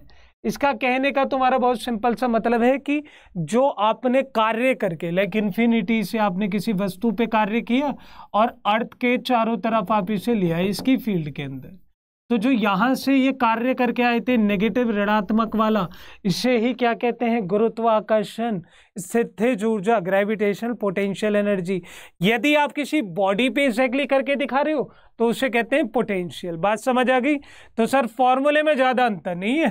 फॉर्मूला क्या है? Sir formula U minus G M M upon R और सर पोटेंशियल का फॉर्मूला क्या था? Minus G M upon R तो देखो कितना सिंपल फॉर्मूला है। इससे ये बना, इससे ये बना। और याद रखना, जहाँ जहाँ पोटेंशियल एनर्जी होती है, वहाँ फोर्स कैसी रहती है? कंजर्वेटिव रहती है मेरे बच्चे। संरक्षणी रहती है। संरक्षी। तो नेगेटिव साइन क्या कह रहा है कि ग्रेविटेशन पोटेंशियल एनर्जी डिक्रीज होगी। तो सर आप समझाना क्या चाह रहे हो? देखो, आ जाओ, मेरी एक बात समझ लो। बहुत प्यारी खूबसूरत बात है। यदि आप एक बॉडी है, देखो ये रही ध्यान से देखो, ये तुम्हारी अर्थ है। अर्थ पे से इस बॉडी को आर डिस्टेंस पे ले जाओ। ठीक है? तो याद रखिएगा आर डिस्टेंस पे जाके सपोज़ करो अगर यू की वैल्यू यहाँ पे एक जूल है तो यहाँ पे बढ़ के यू की वैल्यू पता है कितनी हो जाएगी? दो जूल मतलब if R increase R increase R की वैल्यू इंक्रीज हो रही है तो सर यू क्या है? Minus G M M upon R तो भाई आर इंक्रीज हो रहा है मतलब नेगेटिव में इंक्रीज हो रहा है तो ये भी तो बढ़ेगा। तो यू क्या हो जाएगा सर यू भी बढ़ जाएगा। अगर सर यू भी बढ़ेगा, साथ में साथ वी भी बढ़ेगा। तो मैं देख पा रहा हूँ कि जितना मैं दूर जा रहा हूँ मतलब अर्थ से मैं जितना दूर जाते जा रहा हूँ, मेरी वी की वैल्यू उतनी पॉजिटिव होती जा रही है यू की वैल्यू पॉजिटिव है। अब खुद सोच के देखना, तुझे ज़ीरो से उठा के कोई नेगेटिव की तरफ़ लेके आए तो नेगेटिव वैल्यू यही वजह है कि यहाँ पे नेगेटिव नेगेटिव चलता आ रहा है। क्योंकि मुझे लेके आए हैं ऐसे नंबर लाइन पे। नंबर लाइन पे कैसे लेके आए sir zero minus one minus two तो यहाँ से यहाँ लाओगे ज़ीरो में से कोई फाइनल वैल्यू डालोगे तो माइनस वन ही तो आएगी। तो कार्य अपोजिट करके ला रहे हो तुम। तो देख ले, अगर आर इंक्रीज हो रही है तो ये दोनों इंक्रीज हो रही है, लेकिन अगर आर डिक्रीज हो रही है तो यू और वी दोनों क्या हो जाएँगी? डिक्रीज हो जाएगी। मतलब जितना अर्थ के पास आता जाएगा, u और v की वैल्यू उतनी नेगेटिव होती जाएगी, जितना दूर होता जाएगा, उतना ज़ीरो होने के चांसेस है। और एक और बात अपने दिमाग में डाल लो आज, वो बात क्या है जो मैं तुम्हें बताना चाहता हूँ कि हम हमेशा हम हमेशा ये, अरे हम तो साहब ये अज्यूम करते हैं कि जो u और v की वैल्यू एट इन्फिनिटी होती है, वो हमेशा ज़ीरो होती है। इस बात को अपने दिमाग में डालो अच्छी तरीके से। जो कोई अनंत बिंदु होता है इन्फिनिटी पॉइंट होता है, वहाँ पे U मतलब पोटेंशियल एनर्जी V मतलब पोटेंशियल उन दोनों की वैल्यू ज़ीरो अज्यूम करते हैं। तभी तो यहाँ आते आते नेगेटिव में लिखोगे। बात समझ आ गई क्या तुम्हें मेरी बात? खैर चलिए आगे की तरफ़ चलते हैं। आगे की तरफ़ जब हम चलेंगे तो हम लोग क्या देखेंगे? सारा पार्ट आपको क्लियर हो चुका है। एक बार इस पार्ट को पढ़ लो।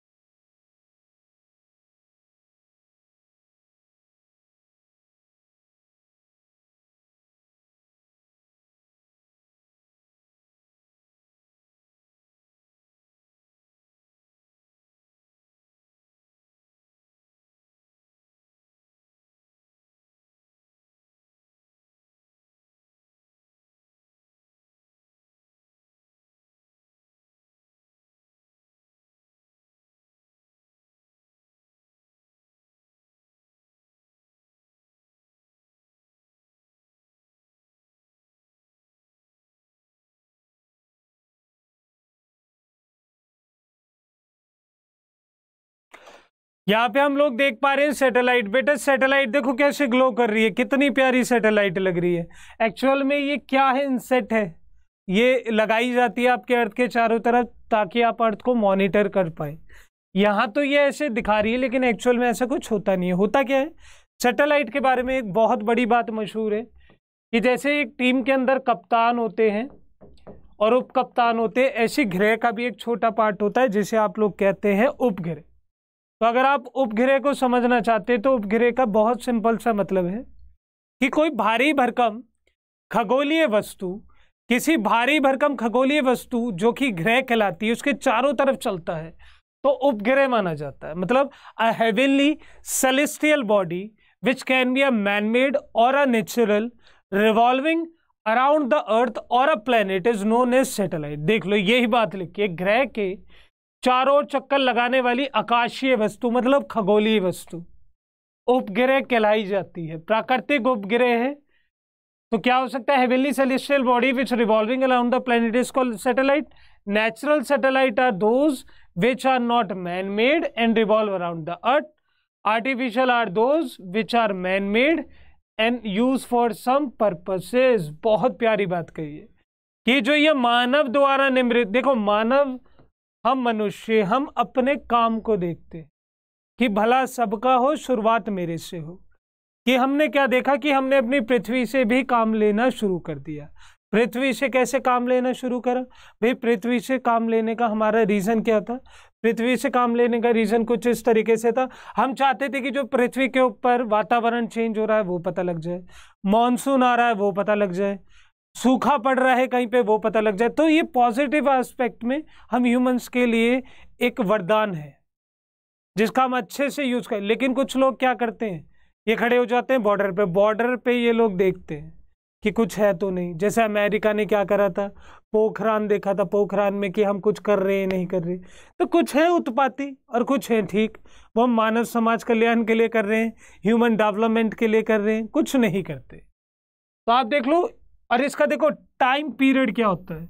हर एक किसी का टाइम पीरियड होता है। कितना होता है sir T equal to two pi under root R cube upon में कितना? जी एम तो ये वैल्यू अपने दिमाग में डाल लो और अच्छी तरीके से डाल लो कि टाइम पीरियड कितना है, वो तुम्हारी आँखों के सामने है। Artificial satellite are of two type सबको पता होनी चाहिए, लेकिन उससे पहले मैं तुम्हें एक बात बता दूँ, जो तुम्हें कहीं ना कहीं हेल्प करने वाली है। वो बात है क्या? कि ये जितनी भी सैटेलाइट्स हैं, ये जितनी भी सैटेलाइट्स हैं, इनमें कुछ बातें कॉमन है। लाइक सपोज़ करो सैटेलाइट में सबसे पहली आती है मून मून का मतलब होता है नेचुरल नेचुरल मतलब प्राकृतिक। तो तुम मून के बारे में कुछ बात जानना चाहते हो तो देख लो। देखो मून के बारे में एक बात है कि जब ये मून चलता है मतलब अपनी दूरी पे घूमता है, और ये अर्थ के चारों तरफ़ चलता है, ये तुम्हारी अर्थ है। तो याद रखना, यहाँ पे भी कुछ टाइम लगता है और यहाँ पे भी कुछ टाइम लगता है। ये दोनों टाइम इक्वल है। सत्ताईस दिन एवं आठ घंटे। दूसरा, अगर अर्थ का रेडियस आर है तो डिवाइड कर दे फोर से तो किसका आ जाएगा? मून का। इतना छोटा ही अगर जी की वैल्यू अर्थ पे जी है डिवाइड कर दे छह से, किसकी आ जाएगी? मून की आ जाएगी। सर, आखिर में देर इज़ नो एटमोस्फेयर यहाँ पे कोई भी वायुमंडल नहीं है। तुझे बताया था कि यहाँ पे गुरुत्वाकर्षण मून के ऊपर, चंद्रमा के ऊपर गुरुत्वाकर्षण इतना अधिक नहीं है। यदि सपोज़ कर, तेरा वेट धरती पर अर्थ के ऊपर वेट कितना है भाई? 600 न्यूटन। तो याद रखना, v ऑन मून कितना हो जाएगा? ये हो जाएगा 100 न्यूटन मतलब छ टाइम डिवाइड कर दो, देख लो। अगर हम ध्यान से देखें तो अब यहाँ पे जो ये सैटेलाइट है, दो पार्ट में डिवाइड होती है। पहली बात तो एक ही पार्ट में डिवाइड होती है, जिसे कहते हैं आर्टिफिशियल। आर्टिफिशियल का मतलब होता है कृत्रिम, मानव द्वारा निम्बरित ये दो पार्ट में डिवाइड होती है, जियो, सिंक्रोनस मतलब भू मध्यकालिक और दूसरी होती है मेरे बच्चे, पोलर। पोलर मतलब ध्रुवी तो पोलर का क्या मतलब होता है? ध्रुवीय उपग्रह। बात समझ आ रही है? तो इन दोनों के बारे में पढ़ते हैं, क्या कहा जाता है, किस तरीके से इनकी प्रॉपर्टी आजो। तो सबसे पहली जो आई है आपकी, वो आई है जियो स्टेशनरी जियो स्टेशनरी का मतलब ध्यान से समझ लो। जियो मतलब क्या होता? है अर्थ। अर्थ मतलब पृथ्वी। स्टेशनरी का मतलब होता है रेस्ट रेस्ट मतलब विराम। तो यदि कोई वस्तु अर्थ की तरह ही घूम रही है या फिर अर्थ के रिस्पेक्ट में रुकी हुई है। सवाल आता है कि यदि कोई बॉडी इस अंतरिक्ष में घूम रही है और पृथ्वी पे रहने वालों को वो सैटेलाइट के नाम से जानते हैं, वो चल तो रही है, लेकिन हमें रुकी हुई महसूस होती है तो उसे बोलते हैं जियो स्टेशनरी या फिर पार्किंग सैटेलाइट तो देखो, अर्थ कैसे चलती है? अर्थ चलती है वेस्ट टू ईस्ट तो ये सैटेलाइट भी इसी रेंज में चलना स्टार्ट कर देती तो जिस तरीके से अर्थ चलेगी, उस तरीके से ये सैटेलाइट चलेगा। यहाँ तक कि देखो, टाइम भी कितना लेती है? सर, टाइम भी अप्रोक्स कितना है? ट्वेंटी फोर आवर्स का। अगर आपसे कोई पूछे, कितनी हाइट पे चलती है तो बताना। छत्तीस हज़ार किलोमीटर की हाइट पे चलती है। सर, रेडियस मिला के कितना? अगर सेंटर से कोई पूछे तो बयालीस हज़ार चार सौ। देखो, ये बात लिखी, ये रहा। ऑर्बिट का रेडियस भी पता है हाइट भी पता है, कितनी वेलोसिटी से चलती ये भी लिखा है। एंगुलर वेलोसिटी कितनी होती है ये भी लिखा है। नाम क्या क्या होते हैं, ये सब कुछ लिखा है। और फिर याद रखना, ये चलती केवल इक्वेटर में है मतलब इक्वेटेरियल है। अगर अर्थ तुम्हारी ऐसी है तो ये ऐसे चल रही है, देख ले, यहाँ बना भी रखी है। और इन्होंने कह रखा है टू कॉपी इसे एक और नाम से भी जानते हैं, इसे जानते हैं जियो सिंक्रोनस।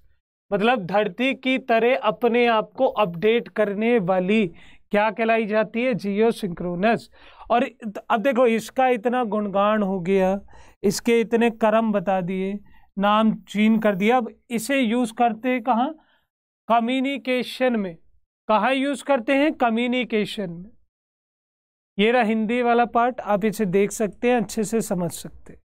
बात समझ आ गई? कहाँ यूज़ करते हैं? कम्युनिकेशन कम्युनिकेशन मतलब? सर गूगल मैप खोलना है तो इसकी मदद से खोल। सर एग्ज़ाम्पल कैसे? सर गूगल मैप खोलना है, इसकी मदद से खोल ले। सर लोकेशन भेजनी है, इसकी मदद से खोल ले। वीडियो कॉल करनी है, कर लो भाई। गाने सुनने हैं सैटेलाइट का यूज़ करना है, सब इसकी मदद से हो सकता और इसका एग्ज़ाम्पल है इनसेट टू बी और इनसेट टू सी, जो कि इंडिया की जियो स्टेशनरी सैटेलाइट्स है। बात समझ आ गई? अगला देखो।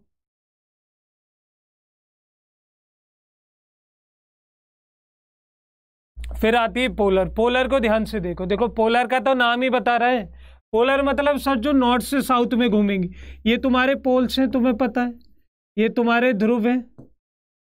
ये भी तुम्हारा है, ये दक्षिणी, ये उत्तरी। तो जो इस तरीके से घूम रही है, अर्थ के इस तरीके से, वो पोलर जो इस तरीके से घूम रही है वो कैसी है? जी, स्टेशनरी। सर, सेम बात है। कितनी हाइट पे घूमती है? 880 पे। टाइम पीरियड कितना लेती है? चौरासी मिनट। चौरासी मिनट मतलब लगभग डेढ़ घंटा। डेढ़ घंटे में अर्थ का चक्कर लगा लेती है। दूसरा ऑर्बिटल वेलोसिटी ज़्यादा है। अभी तो जल्दी चक्कर लगा रही उसका कितना था? सर, उसकी तो बहुत कम थी। तीन पॉइंट एक थी। अगला देखो। There three satellite, revolve in the polar orbit. ये किस काम में आती है? आती है forecasting weather, studying the upper region, mapping. ये देखो। तो जितनी भी तुम्हारा मौसम की भविष्यवाणी, वातावरण के ऊपरी क्षेत्र का अध्ययन है, मानचित्रण, जितना भी ये सब चीज़ें हैं, ये किसकी मदद से होती है? ये होती है पोलर सैटेलाइट की। पीएसएलवी सीरीज़ की मतलब पीएसएलवी का क्या मतलब होता है? इसका मतलब होता है पोलर सैटेलाइट। Launching vehicle. ठीक है? ये देखिए बात समझ आ गई सबको? चलिए, हिंदी में भी पढ़ लीजिए आराम से। कोई दिक्कत आए तो यहाँ से समझ लेना।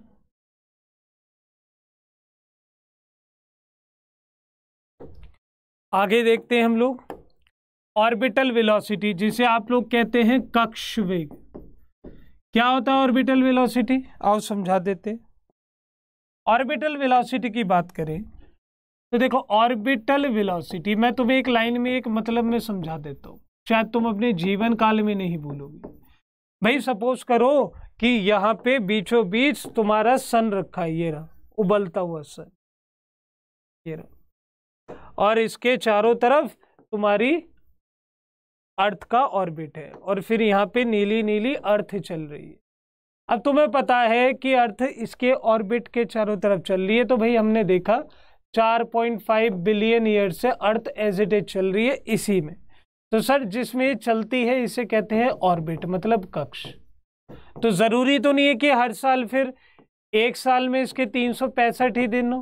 लेकिन अचंभे वाली बात है कि तीन सौ पैंसठ दशमलव दिन है या फिर तीन सौ छियासठ दिन है, जिसे आप लोग कहते हैं क्या लीप वर्ष अब हमारा दिमाग ये मजबूर हो जाता है सोचने पे कि इतनी एग्जैक्ट कोई चीज़ कैसे हो सकती भाई, यदि अर्थ साढ़े चार करोड़ अरब साल से इतनी तेज़ी से यहाँ चल रही है तो सर ये हर साल इतना ही मैग्नीट्यूड कैसे लेती है? बेटा जब ये चलती है तो ये किसी वेलोसिटी से चलती होगी, किसी वेग से चलती होगी। और जिस वेग से ये चल रही है, उस वेग को हम कहते हैं कांस्टेंट वेग, नित्यांक वेग। और बेटा इसी नित्यांक वेग की वजह से ये एक साल में तीन दिन कंप्लीट करती है। तो सर, ये क्या है? इसे ही बोलते हैं ऑर्बिटल वेलोसिटी यही वो वेलोसिटी है।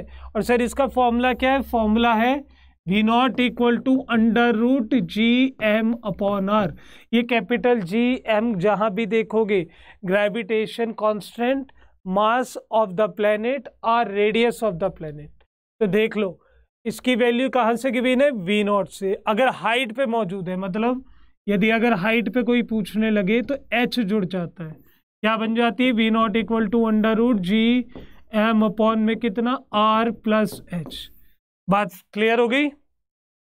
मास क्या है? Mass of the planet R क्या है? Radius of the planet I H क्या है? एच हाइट ऊपर।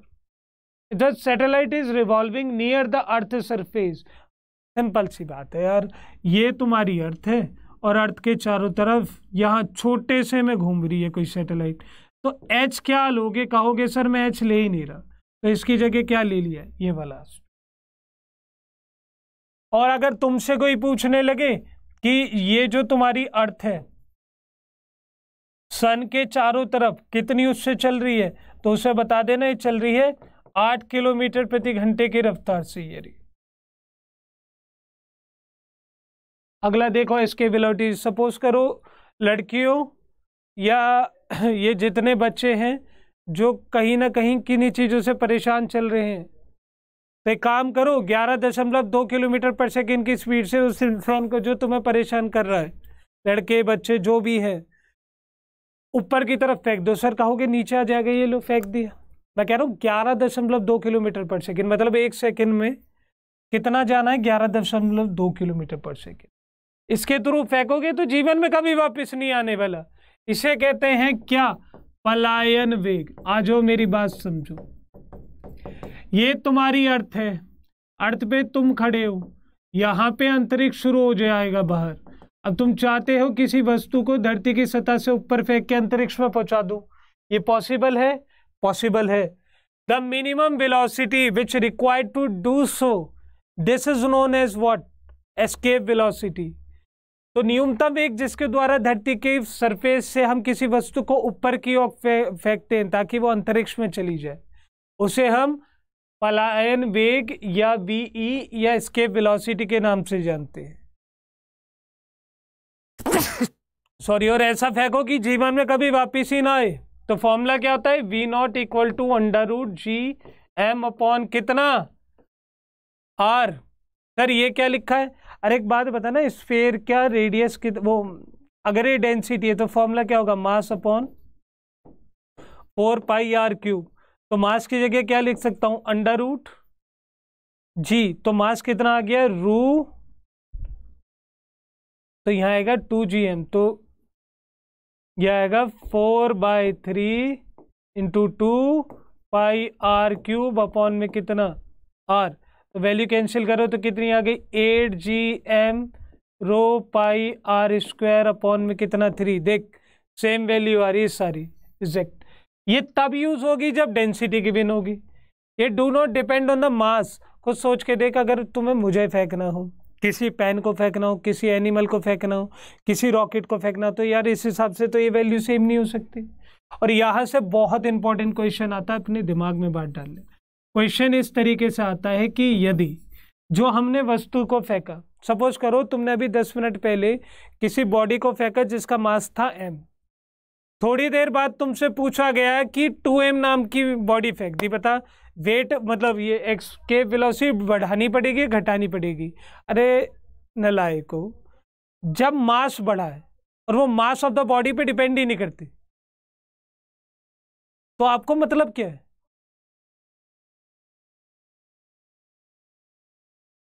वो डिपेंड किस पे करती है?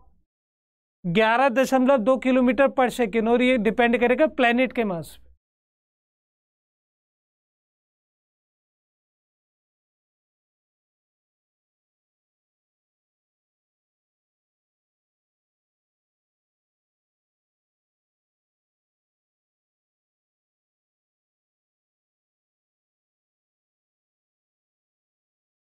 चलिए आगे की तरफ़ चलते हैं और कुछ इंपॉर्टेंट पढ़ लेते हैं।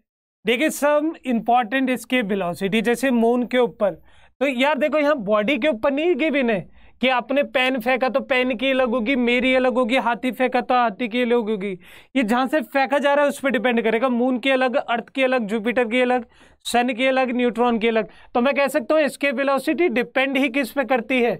मास ऑफ़ प्लेनेट मतलब जिस जगह से आप वस्तु को फेंक रहे हैं। तो देखो जुपिटर सबसे ज़्यादा है तो सबसे ज़्यादा चलेगी। सर सन सबसे ज़्यादा है तो उससे ज़्यादा होगी।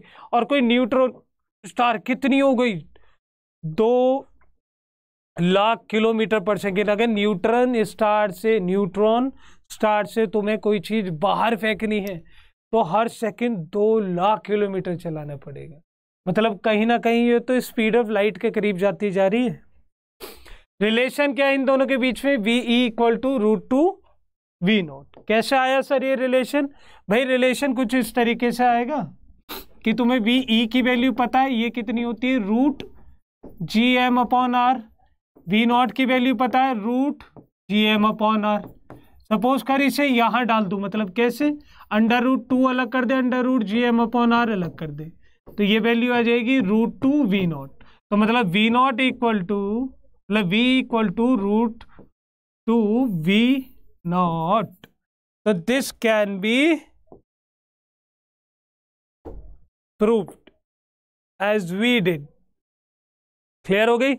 दूसरा क्या है? अगर प्रोजेक्शन इक्वल हो तो पैराबोलिक पाथ होगी। देखो इंपॉर्टेंट कंसेप्ट है, अपने दिमाग में डाल लेना। अगर वेलोसिटी मतलब इसकी वेलोसिटी इसकी वेलोसिटी से कम होगी तो पैराबोलिक पाथ होगी। अगर ज़्यादा होगी तो ये कैसी होगी? हाइपरबोलिक पाथ ये दोनों इंपॉर्टेंट है, अपने दिमाग में क्लियर कट कर लेना।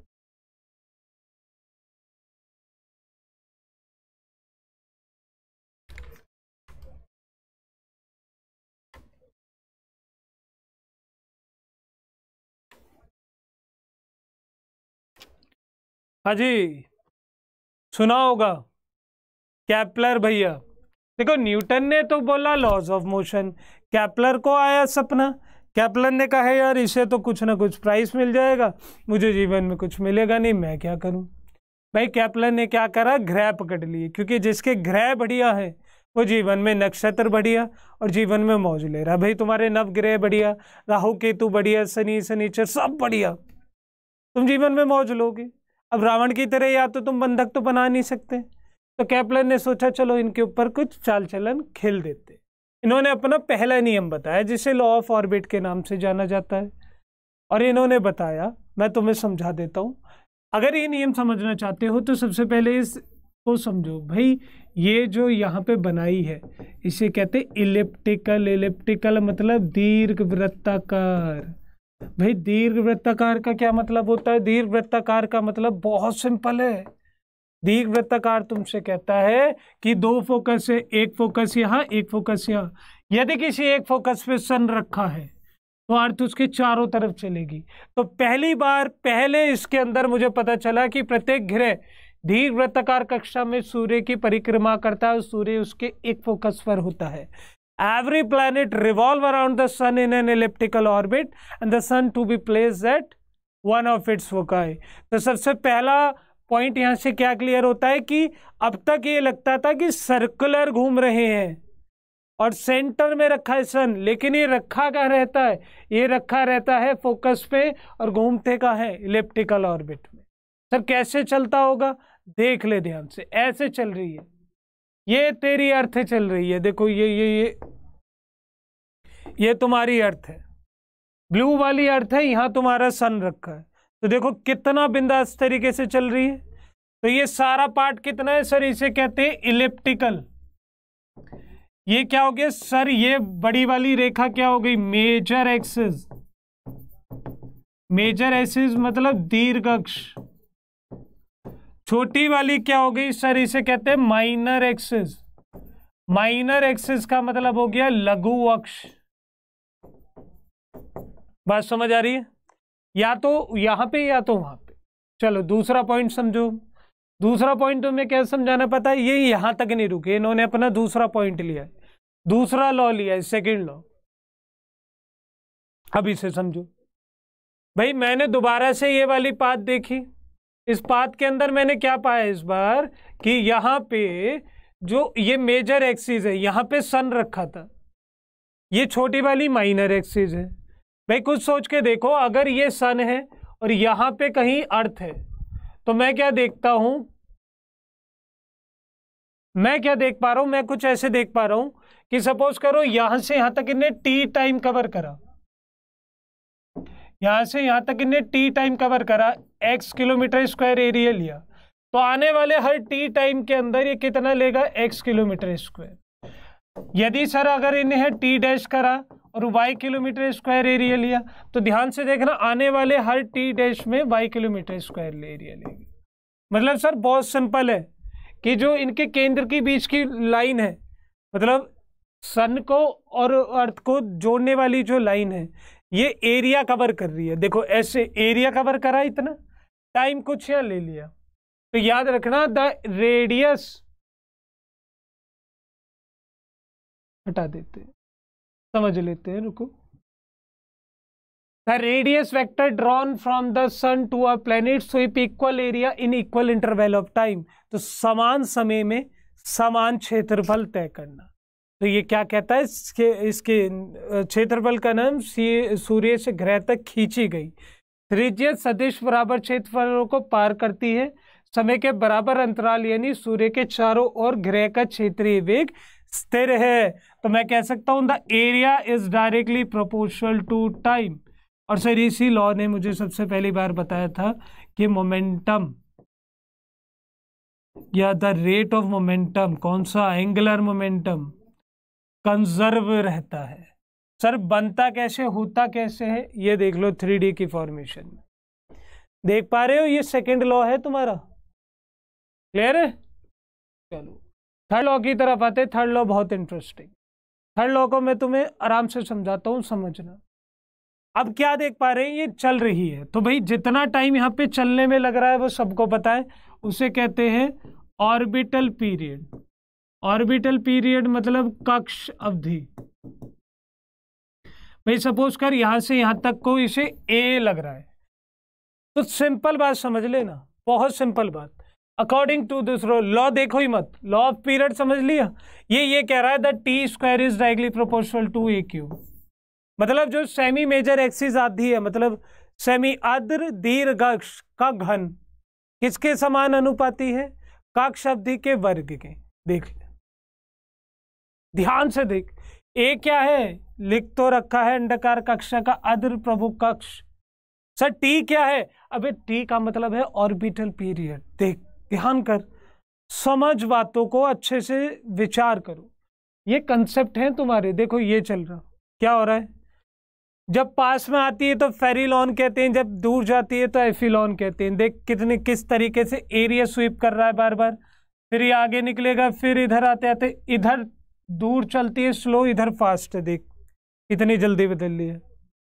तो ये वाला पार्ट में तुम्हें समझाना चाह रहा था, और अब तुम ध्यान से देख लो हर चीज़ को, क्या देख पा रहे हो। ये ये दिखा रहा है कि तुम्हारी अर्थ कैसे मूवमेंट करती है, कित, कितना टाइम लगता है। देखो, जिसका रेडियस कम है, उसे कम टाइम लग रहा है। जल्दी जल्दी चक्कर मतलब जब तक ये दस चक्कर पूरे करेगा, ये बाहर वाला बीस कर लेगा, ये पंद्रह करेगा, ये दस करेगा ये साढ़े सात करेगा, ये चार करेगा। समझ पा रहे हो मेरी बात? चलिए, ये आपकी बातें हैं, इन्हें देख लेना। इंपॉर्टेंट फैक्ट्स हैं, इन इंपॉर्टेंट फैक्ट्स को पढ़ लेना। और इंपॉर्टेंट फैक्ट्स इजी होते हैं हमेशा। देखो, ये सारे इंपॉर्टेंट फैक्ट्स मैंने आप लोगों के लिए आ जाइए अपने क्वेश्चन की तरफ़ चलते हैं। सबसे पहला क्वेश्चन आप लोगों की स्क्रीन के ऊपर है। क्या है? Four K G eagle picks up a 75 gram snake and raise it 2.5 metre from the ground to a branch what is the work done by the eagle on the snake assume कर लेना जी की value एक चार kilo का बाज पिछहत्तर ग्राम के snake को या सांप को उठाता है ज़मीन से ढाई मीटर ऊपर ले जाता है, शाखा तक। आपसे पूछा गया है कि चील द्वारा सांप पर किया गया कार्य कितना होता है? मान लीजिए जी की वैल्यू दस मीटर पर सेकेंड स्क्वायर तीस सेकेंड लो। दस सेकेंड ले लो। साइड में इसलिए हो गया ताकि तुम करके दिखा सको। चलो पॉज कर लेना पॉज करके देख लेना, चीज़ें समझ के देख लेना। आइए, मैं कहता हूँ कि यहाँ पे कोई स्नेक था ये रहा। पिछहत्तर ग्राम का। भाई मैं कोई टीचर वैसे तो हूँ नहीं ना। ये स्नेक चल रहा है। यहाँ पे ईगल आई। ईगल ने क्या करा? ये रही। ये ईगल आई तुम्हारी। ईगल ने उठाया। कितने किलो की ईगल ईगल है चार किलो। अब ईगल इसे उठा के गई कितनी उठा ऊंचाई पे? दो दशमलव पाँच की। जी की वैल्यू कितनी हो गई? माइनस टेन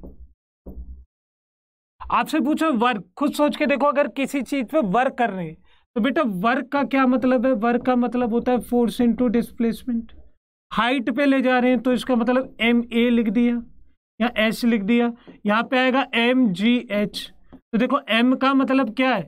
किसे लेके जा रहे हैं सर इसे? तो एम का मतलब इसकी वैल्यू डालो, पिछहत्तर ग्राम। अपॉन में कितना? सौ। सौ या किलो? हज़ार।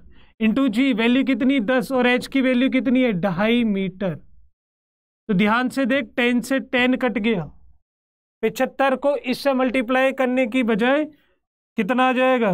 सर फोर ये कितना आ जाएगा? ट्वेंटी फाइव इंटू थ्री और सिक्सटीन तो तीन बटे सोलह के हिसाब से आंसर निकाल लेना तुम अपना। ठीक है, मेरी बात समझ आ गई? तो कैलकुलेशन तुम्हें पता चल चुकी है। इसमें इतना कोई बहुत बड़ा रोल प्ले करने की नीड नहीं है। सारी चीज़ें तुम्हारी सामने बस ग्राम को चेंज करना था, बाकी एज इट इज़ बताइए। क्वेश्चन है।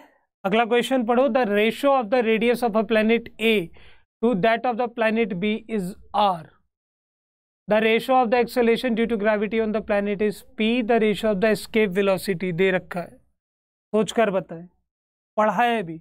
यदि ग्रह ए की त्रिज्या का एक ग्रह बी की त्रिज्या का अनुपात आर है तो ग्रह पे गुरुत्वाकर्षण के कारण त्वरण का अनुपात पी है। तो दोनों ग्रह के पलायन वेग का अनुपात कितना होगा? सोचो।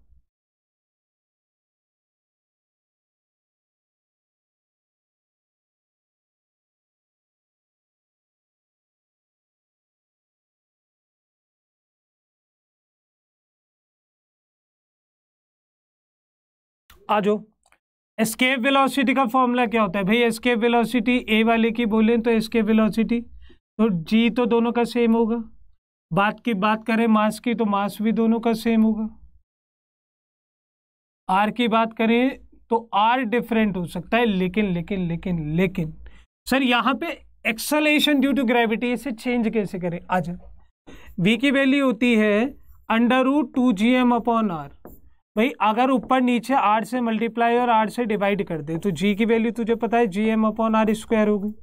तो इस फॉर्मूले में मैं क्या लिखूँगा? वी नॉट इक्वल टू कितना?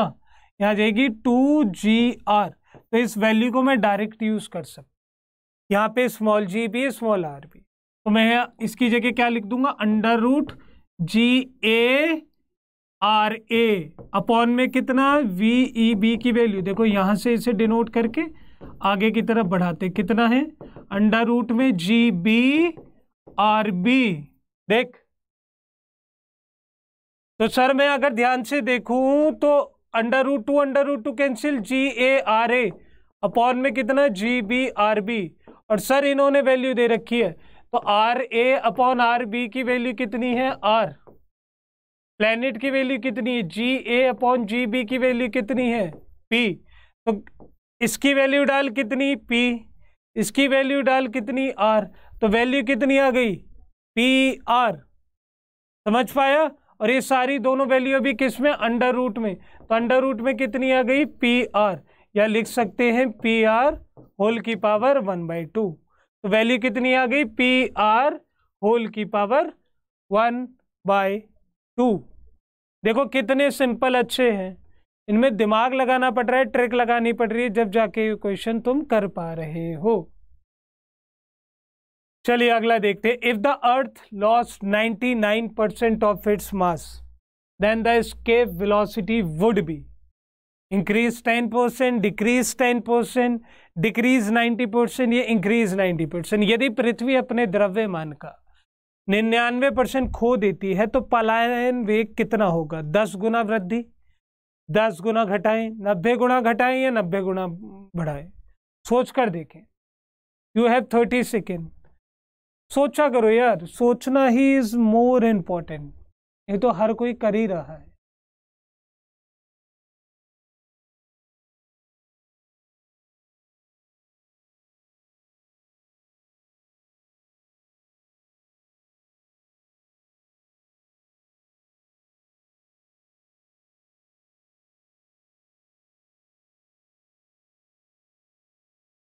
करा करा करा, नहीं करा। एस्केप वेलोसिटी सबको पता है under root two G M upon R है। और सर यहाँ पे एम वो नहीं, जिससे बॉडी फेंकी जाती है। एम का मतलब है मास ऑफ़ द प्लेनेट और द अर्थ तो सर यहाँ पे आर सेम रखने को बोला है तो डिपेंड वी ई किस पे कर रहा है सर ये डिपेंड कर रहा है अंडर रूट एम पे। अगर ये 99 परसेंट डिक्रीज हुआ है तो एक बात बता, अगर ये 99 परसेंट डिक्रीज हुआ मतलब पहले सौ था, अब एक हो गया। पहले सौ था, अब एक हो गया। तो सर, अगर ये 99 परसेंट डिक्रीज हुआ है, इसकी वैल्यू आप लोग क्या देख रहे हैं? अंडर रूट में है। तो 99 का अंडर रूट कितना आने वाला है? सर 99 का अंडर रूट कितना आने वाला है? यह आएगा 11 इंटू थ्री इंटू कितना? Thirty three? तो थर्टी थ्री टाइम्स वो कम हुआ है। थर्टी थ्री टाइम्स वो कम हुआ है तो सपोज़ करके देखो कि नाइन्टी नाइन परसेंट कम होके वन आया होगा। मतलब वन कम होके अंडर रूट में वन तो आ रहा होगा, लेकिन मैं तुमसे ये कहना चाह रहा हूँ कि यदि इसकी आप लोग एक बात समझें कि ये नाइन्टी नाइन पार्ट रिड्यूस हुआ है। मतलब अब कितने पार्ट बचे? एक पार्ट बचे। तो सर मैं इतना कह सकता हूँ कि ये कहीं ना कहीं एक पार्ट बचा है, दस पार्ट होने चाहिए थे, एक पार्ट बचा ये रिड्यूस होके एक पे आया तो कितने पार्ट कम हुए सर टेन टाइम्स डिक्रीज हुआ है। मतलब दस गुना घटाया गया है। क्योंकि देखो, ये नाइन्टी नाइन परसेंट है रूट निकाला रूट निकालने पे वन आया और वन निकालने पे देखो, ये वैल्यू वन आई है तो पहले टेन था, अब वन आ गई। अब वन आने का मतलब टेन टाइम्स घटा दिया था। सोच कर बताए। अगला।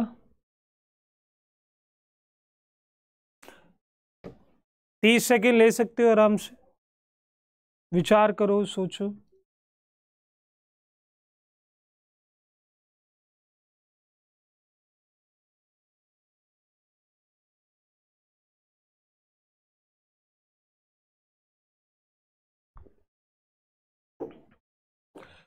कह रहे हैं दो सैटेलाइट है consider two satellites A and B having time period 16 hour and 1 hour respectively what is the ratio of the radius of their orbit भाई तो मैं अभी थोड़ी देर पहले बताया था, याद करो कि जो टाइम पीरियड का फॉर्मूला होता है सैटेलाइट का two pi R cube upon G M होता है।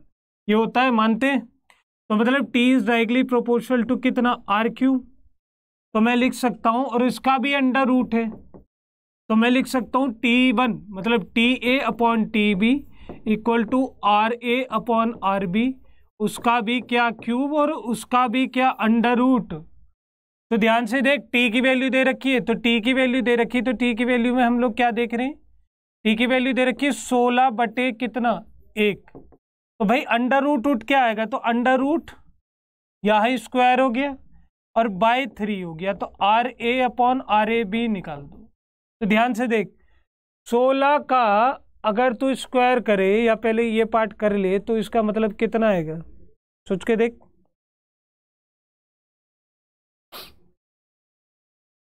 मैं तुम्हें डायरेक्ट बता दिया ये स्क्वायर हो रहा है या क्यूब हो रहा है?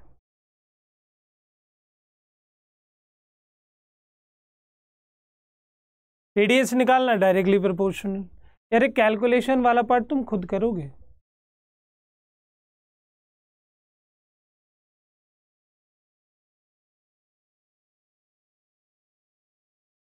करूँ क्या? अरे देखिए मैंने इसे छोड़ा, मैंने लिखा सोलह इंटू सोलह अपॉन में एक इंटू एक, और इसको वन बाई थ्री तो इसे आप लिख कैसे सकते हैं? सर, चार इंटू चार इंटू चार वन बाई थ्री तो चार इंटू चार वन बाई थ्री उसका पार्ट सॉल्व करेगा तो कितना आएगा? तो सर, चार को तीन बार ध्यान से करके देखें, कितना आ जाएगा? सर, चौसठ बटे एक। देख लेना। सॉल्व कर लो कर लो।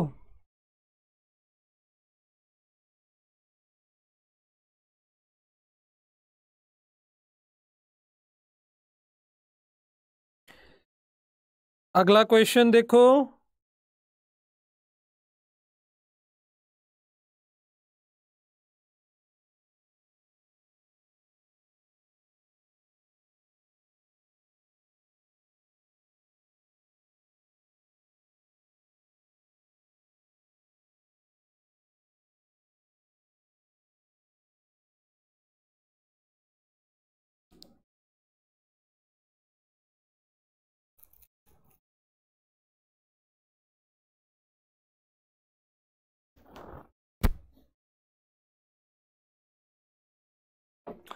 बेटा, अगला क्वेश्चन भी देखो, ध्यान से।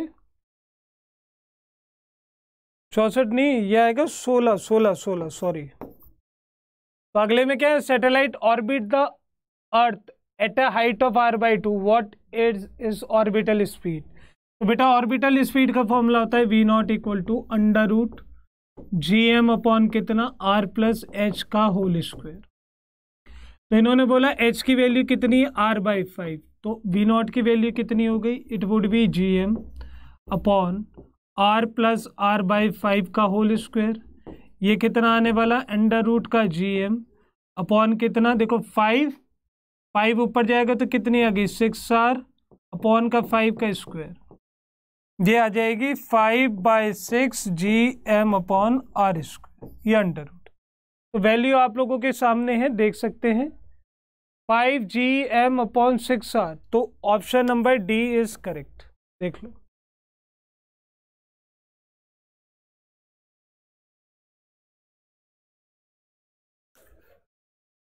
समझ आ गई बात? चलो।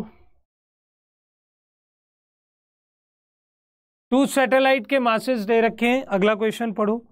टू सैटेलाइट ऑफ़ मासेस 50 के G and 100 K G revolve around the earth in a circular orbit of radii 9 R and 16 R what is the ratio of the speed of two satellite सोचिए, बताइए।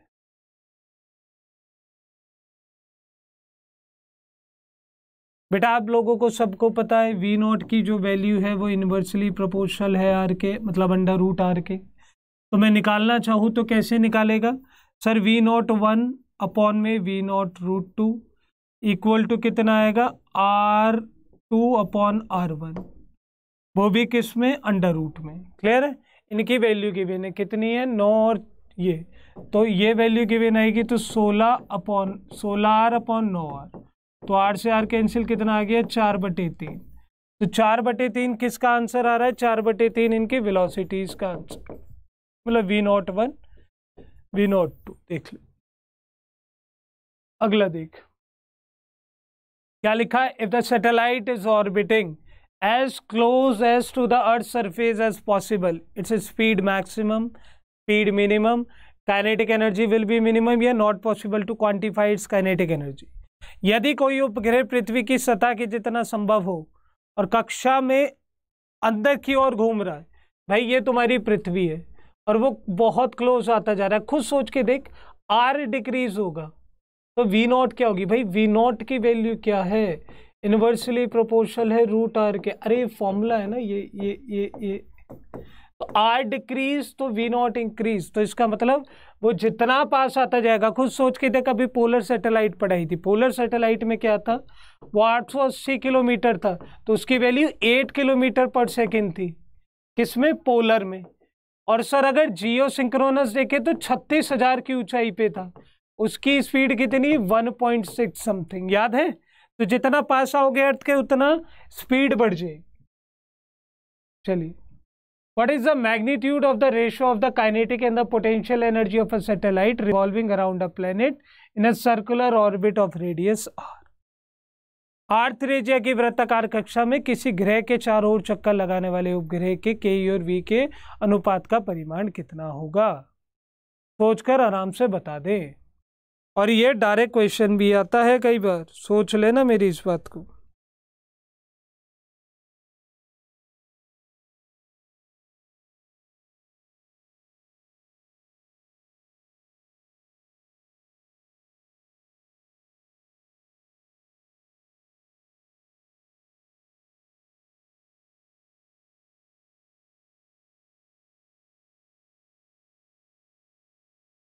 Direct question आया मेरे बच्चे direct कई दफ़ा।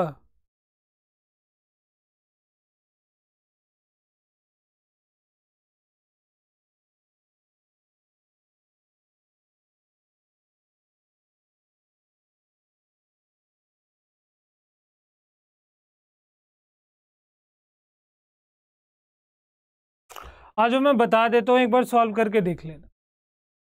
भाई kinetic energy का formula क्या होता है? काइनेटिक एनर्जी का फॉर्मूला होता है हाफ़ एम बी स्क्वायर तो वी का मतलब क्या है सर ऑर्बिटल और ऑर्बिटल का फॉर्मूला क्या है? ऑर्बिटल का फॉर्मूला है under root G M upon R square square कर लेना। तो वैल्यू कितनी आ गई सर वैल्यू आ गई हाफ़ कैपिटल एम ही रखना, ये स्मॉल एम जो भी तुम्हारी मर्ज़ी रख लो। स्मॉल एम अंदर क्या आ गया? जी एम अपॉन कितना? आर स्क्वायर भाई पोटेंशियल की वैल्यू पता है? पोटेंशियल की वैल्यू पता है हाफ़ कितना आगे? माइनस जी सॉरी हाफ़ नहीं, आगे जी एम एम अपॉन कितना आर भाई उसे और इसे कैंसिल करके देख लो। जब इसे और उसे कैंसिल करोगे वैल्यू को तो देखो ये अंडर रूट से आर बाहर निकल के आया तो आर बचा। यार हटाओ। तो सारी वैल्यू जब कैंसिल आउट करोगे तो के ई अपॉन पोटेंशियल की वैल्यू कितनी आ गई? वन बाय टू ठीक है। देख ले देख ले, देख अगला देखो most wave use for the communication purpose rely on geostationary because क्यों? क्या रीजन होगा? ज़्यादातर वो बड़ी वाली सैटेलाइट के हैं, क्योंकि they can not transmit data अरे, खुद को पता है यार। ज़्यादातर वेव्स की जो वेवलेंथ है, वो मैक्सिमम नहीं है रेडियो और माइक्रोवेव्स को छोड़ के। जिसकी वजह से वो लंबी दूरी तय नहीं कर पाती, उनकी मदद कौन करता है? Geostationary satellite how much is a polar orbit inclination with the earth equatorial plane आपको बताया था कि जो ये पोलर ऑर्बिट है, भाई पोलर का जो ऑर्बिट है वो ये है, ये पोलर ऑर्बिट कहलाता है। और यहाँ पे कोई सैटेलाइट घूम रही हो और पूछा गया, इस प्लेन से उसका एंगल कितना है? तू बता नहीं सकता कितना एंगल है, नब्बे डिग्री का है। ले। फॉर ऑब्जेक्ट एक्सपीरियंस वेटलेसनेस क्या होगा उसके अंदर? सर, उसका वेट नॉन ज़ीरो होगा, हो ही नहीं सकता, वेट ज़ीरो हो। जाए अरे वेटलेसनेस बाहरहीनता का मतलब ही ये है डब्ल्यू ज़ीरो है। तो पहला तो हो ही नहीं सकता। ये गुरुत्वाकर्षण के कारण कुछ नहीं होता। सर जी की वैल्यू ज़ीरो हो जाती है जी की वैल्यू ए के बराबर हो जाती है। ये कोई भी पार्ट नहीं होता। तो सर, क्या है? इट हैज़ इनर्शिया क्यों होता है? मैं बता देता हूँ। जब बॉडी नीचे आ रही होती है तो ए की वैल्यू जी में हो जाती है तो डब्ल्यू का फॉर्मूला होता है जी माइनस ए तो W equal to M G minus G तो कितना आ गया? ये आ गया डब्ल्यू इक्वल टू ज़ीरो बाहरहीनता ट्वेल्थ पॉइंट देखो a person sitting in a chair in a satellite feels weightless because क्या रीजन होगा? सर क्योंकि अर्थ उसे सैटेलाइट को क्या नहीं कर रही है? अट्रैक्ट नहीं कर रही। नॉर्मल फोर्स लग रही है जो अट्रैक्शन को पास कर रही है। या उपग्रह में व्यक्ति की सैटेलाइट एक्सेलरेटेड नहीं है। अरे, सैटेलाइट के अंदर तो ऑलरेडी आदमी उड़ता रहता, उड़ते हुए खाना, पीना, जो करना। तो देखो, नॉर्मल फोर्स कितनी हो गई? ज़ीरो हो गई। सामान्य बल कितना हो गया है यहाँ? शून्य हो गया। समझ आ गई बच्चा? समझो ध्यान से अच्छे से, तरीके से।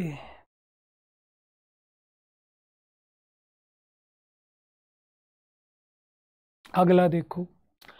क्या लिखा है? From the Kepler law of orbit we can infer that the sun is located ये तो बता दो। Located at one of at the center of the planets orbit भाई प्लैनेट है, वो घूम रहा है, उसका ऑर्बिट है। तो सन कहाँ रखा है सर? फोकस पे। तो एट वन ऑफ़ इट्स फोका ये कहाँ रखा था? दो फोकस थे ना? एफ़ टू एफ़ वन तो ये कभी इधर भी रखा है, कभी इधर भी। उन्हें भी कंफर्म नहीं था। उस टाइम पंद्रह सौ छब्बीस जब ये बाबर बाबर लड़ रहे थे, उन्हें भी नहीं था। तो फोकाई में से किसी एक पर फोर्थ आता है what is the time taken by the planet to sweep भाई अल्टीमेट क्वेश्चन है इंपॉर्टेंट क्वेश्चन है टाइम लेके देखो। बोला है कि दो मिलियन स्क्वायर किलोमीटर का जो एरिया है, उसके लिए टाइम लिया, कितना लिया जाएगा? यदि एक किलोमीटर स्क्वायर के लिए छत्तीस घंटे लिए हैं।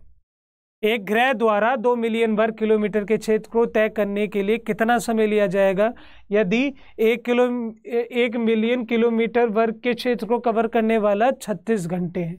याद करो सेकंड लॉ सेकंड लॉ क्या कहता था? सर सेकंड लॉ ये कहता था, यदि यहाँ से लेके यहाँ तक जाने में टी सेकंड लगे हैं और एरिया ए कवर हुआ है तो आने वाले अगले टी सेकेंड में भी एरिया कवर होगा। मतलब area is directly proportional to time तो मतलब area one area two equal to T one upon T two sir area कितना दे रखा है? पहला एक। इक्वल टू कितने? छत्तीस घंटे। दूसरा निकालना है। तो दूसरे के लिए एरिया कितना है? दो। और टाइम कितना है? टी टू अब खुद सोच के देख टी टू की वैल्यू कितनी आ गई? बहत्तर घंटे। अरे जब एक के लिए छत्तीस तो दो के लिए बहत्तर घंटे। क्योंकि डायरेक्टली है, आधा होता तो आधा हो जाता। बताओ भाई ये तुम्हारे लिए होमवर्क है। दिस इज़ योर होमवर्क और ये होमवर्क आप लोग मुझे बताएँगे कैसे मैं आपको बता देता हूँ। डिस्क्रिप्शन के अंदर एक लिंक दिया गया है, जिसका मतलब है prince sir dot P D F वहाँ पर जाएँगे और वहाँ पर जाने के बाद आप उस लिंक को क्लिक करते ही ये खुलेगा। यहाँ पे आप बेसी बात है, उसे डाउनलोड करेंगे। ओपन का बटन आएगा। ओपन का बटन आने के बाद आप डिफेंस एनडीए की तैयारी कर रहे हैं तो सारे एग्ज़ाम यही मिलेंगे। उसके बाद आपको इसके अंदर लाइक सपोज़ करो कम्युनिटी का ऑप्शन मिलेगा। नीचे होम मिलेगा, फिर कम्युनिटी माई कॉन्टेक्ट आप प्रिंस सर दिख रहा है मेरा नाम? आप इसे क्या करेंगे? फॉलो का बटन दबाएँगे फॉलो का बटन दबाने के बाद आप थोड़ा आगे बढ़ेंगे तो आप यहाँ देखेंगे, मेरी ये पूरी पूरी प्रोफ़ाइल खुल के आ गई, जैसे इंस्टाग्राम के अंदर खुलती। तो अगर ये पूरी प्रोफ़ाइल आपकी खुली तो आप इसे क्या कर सकते हैं? अब सारे टीचर्स को फॉलो कर सकते हैं और उनसे बातचीत कर सकते हैं और उनकी सारी चीज़ों को समझ सकते हैं डाउट पूछ सकते तो ये था आपका आस्पेक्ट अब मैं आपसे कुछ और बात करना चाहता हूँ। सपोज़ करो कि यार हाँ ठीक है, आज का सेशन था, आप लोगों को समझ आ गया, बहुत अच्छी तरीके से समझ आ गया। ये कंसेप्ट भी समझ आ गया, लेकिन यदि आपको ये कंसेप्ट अभी समझ नहीं आया तो आप क्या कर सकते हैं? आप इस मेघदूत बैच को ले सकते हैं और कोड लगा सकते हैं वाई सेवन वन फाइव जहाँ पे आपको सेवेंटी सेवन परसेंट ऑफ़ मिलेगा। मतलब तीस चालीस हज़ार का बैच केवल और केवल आपको कितना? तीन हज़ार या दो हज़ार के लगभग अप्रोक्स इतना मिल जाएगा। और इसमें double validity ultimate faculties S के सेशन जीटीओ के सेशन सब मिलेंगे। बात समझ आई? तो ये सारी फैसिलिटीज़ आपको केवल एक सिंगल ऐप प्लेटफॉर्म के नीचे अवेलेबल है। तो मिलते हैं बच्चे, इस तब तक के लिए जय हिंद, जय भारत। और इस पूरे टॉपिक के जो वन शॉट के अंदर मैंने आप लोगों को प्रोवाइड कराया है, इससे रिलेटेड कोई भी आपकी क्वेरी होगी तो आप ऐप के अंदर डाल सकते हैं और मेरे से पूछ सकते हैं। Thank you so much thanks for watching utter twenty four seven like करें शेयर करें कमेंट करें. जय हिंद, जय भारत.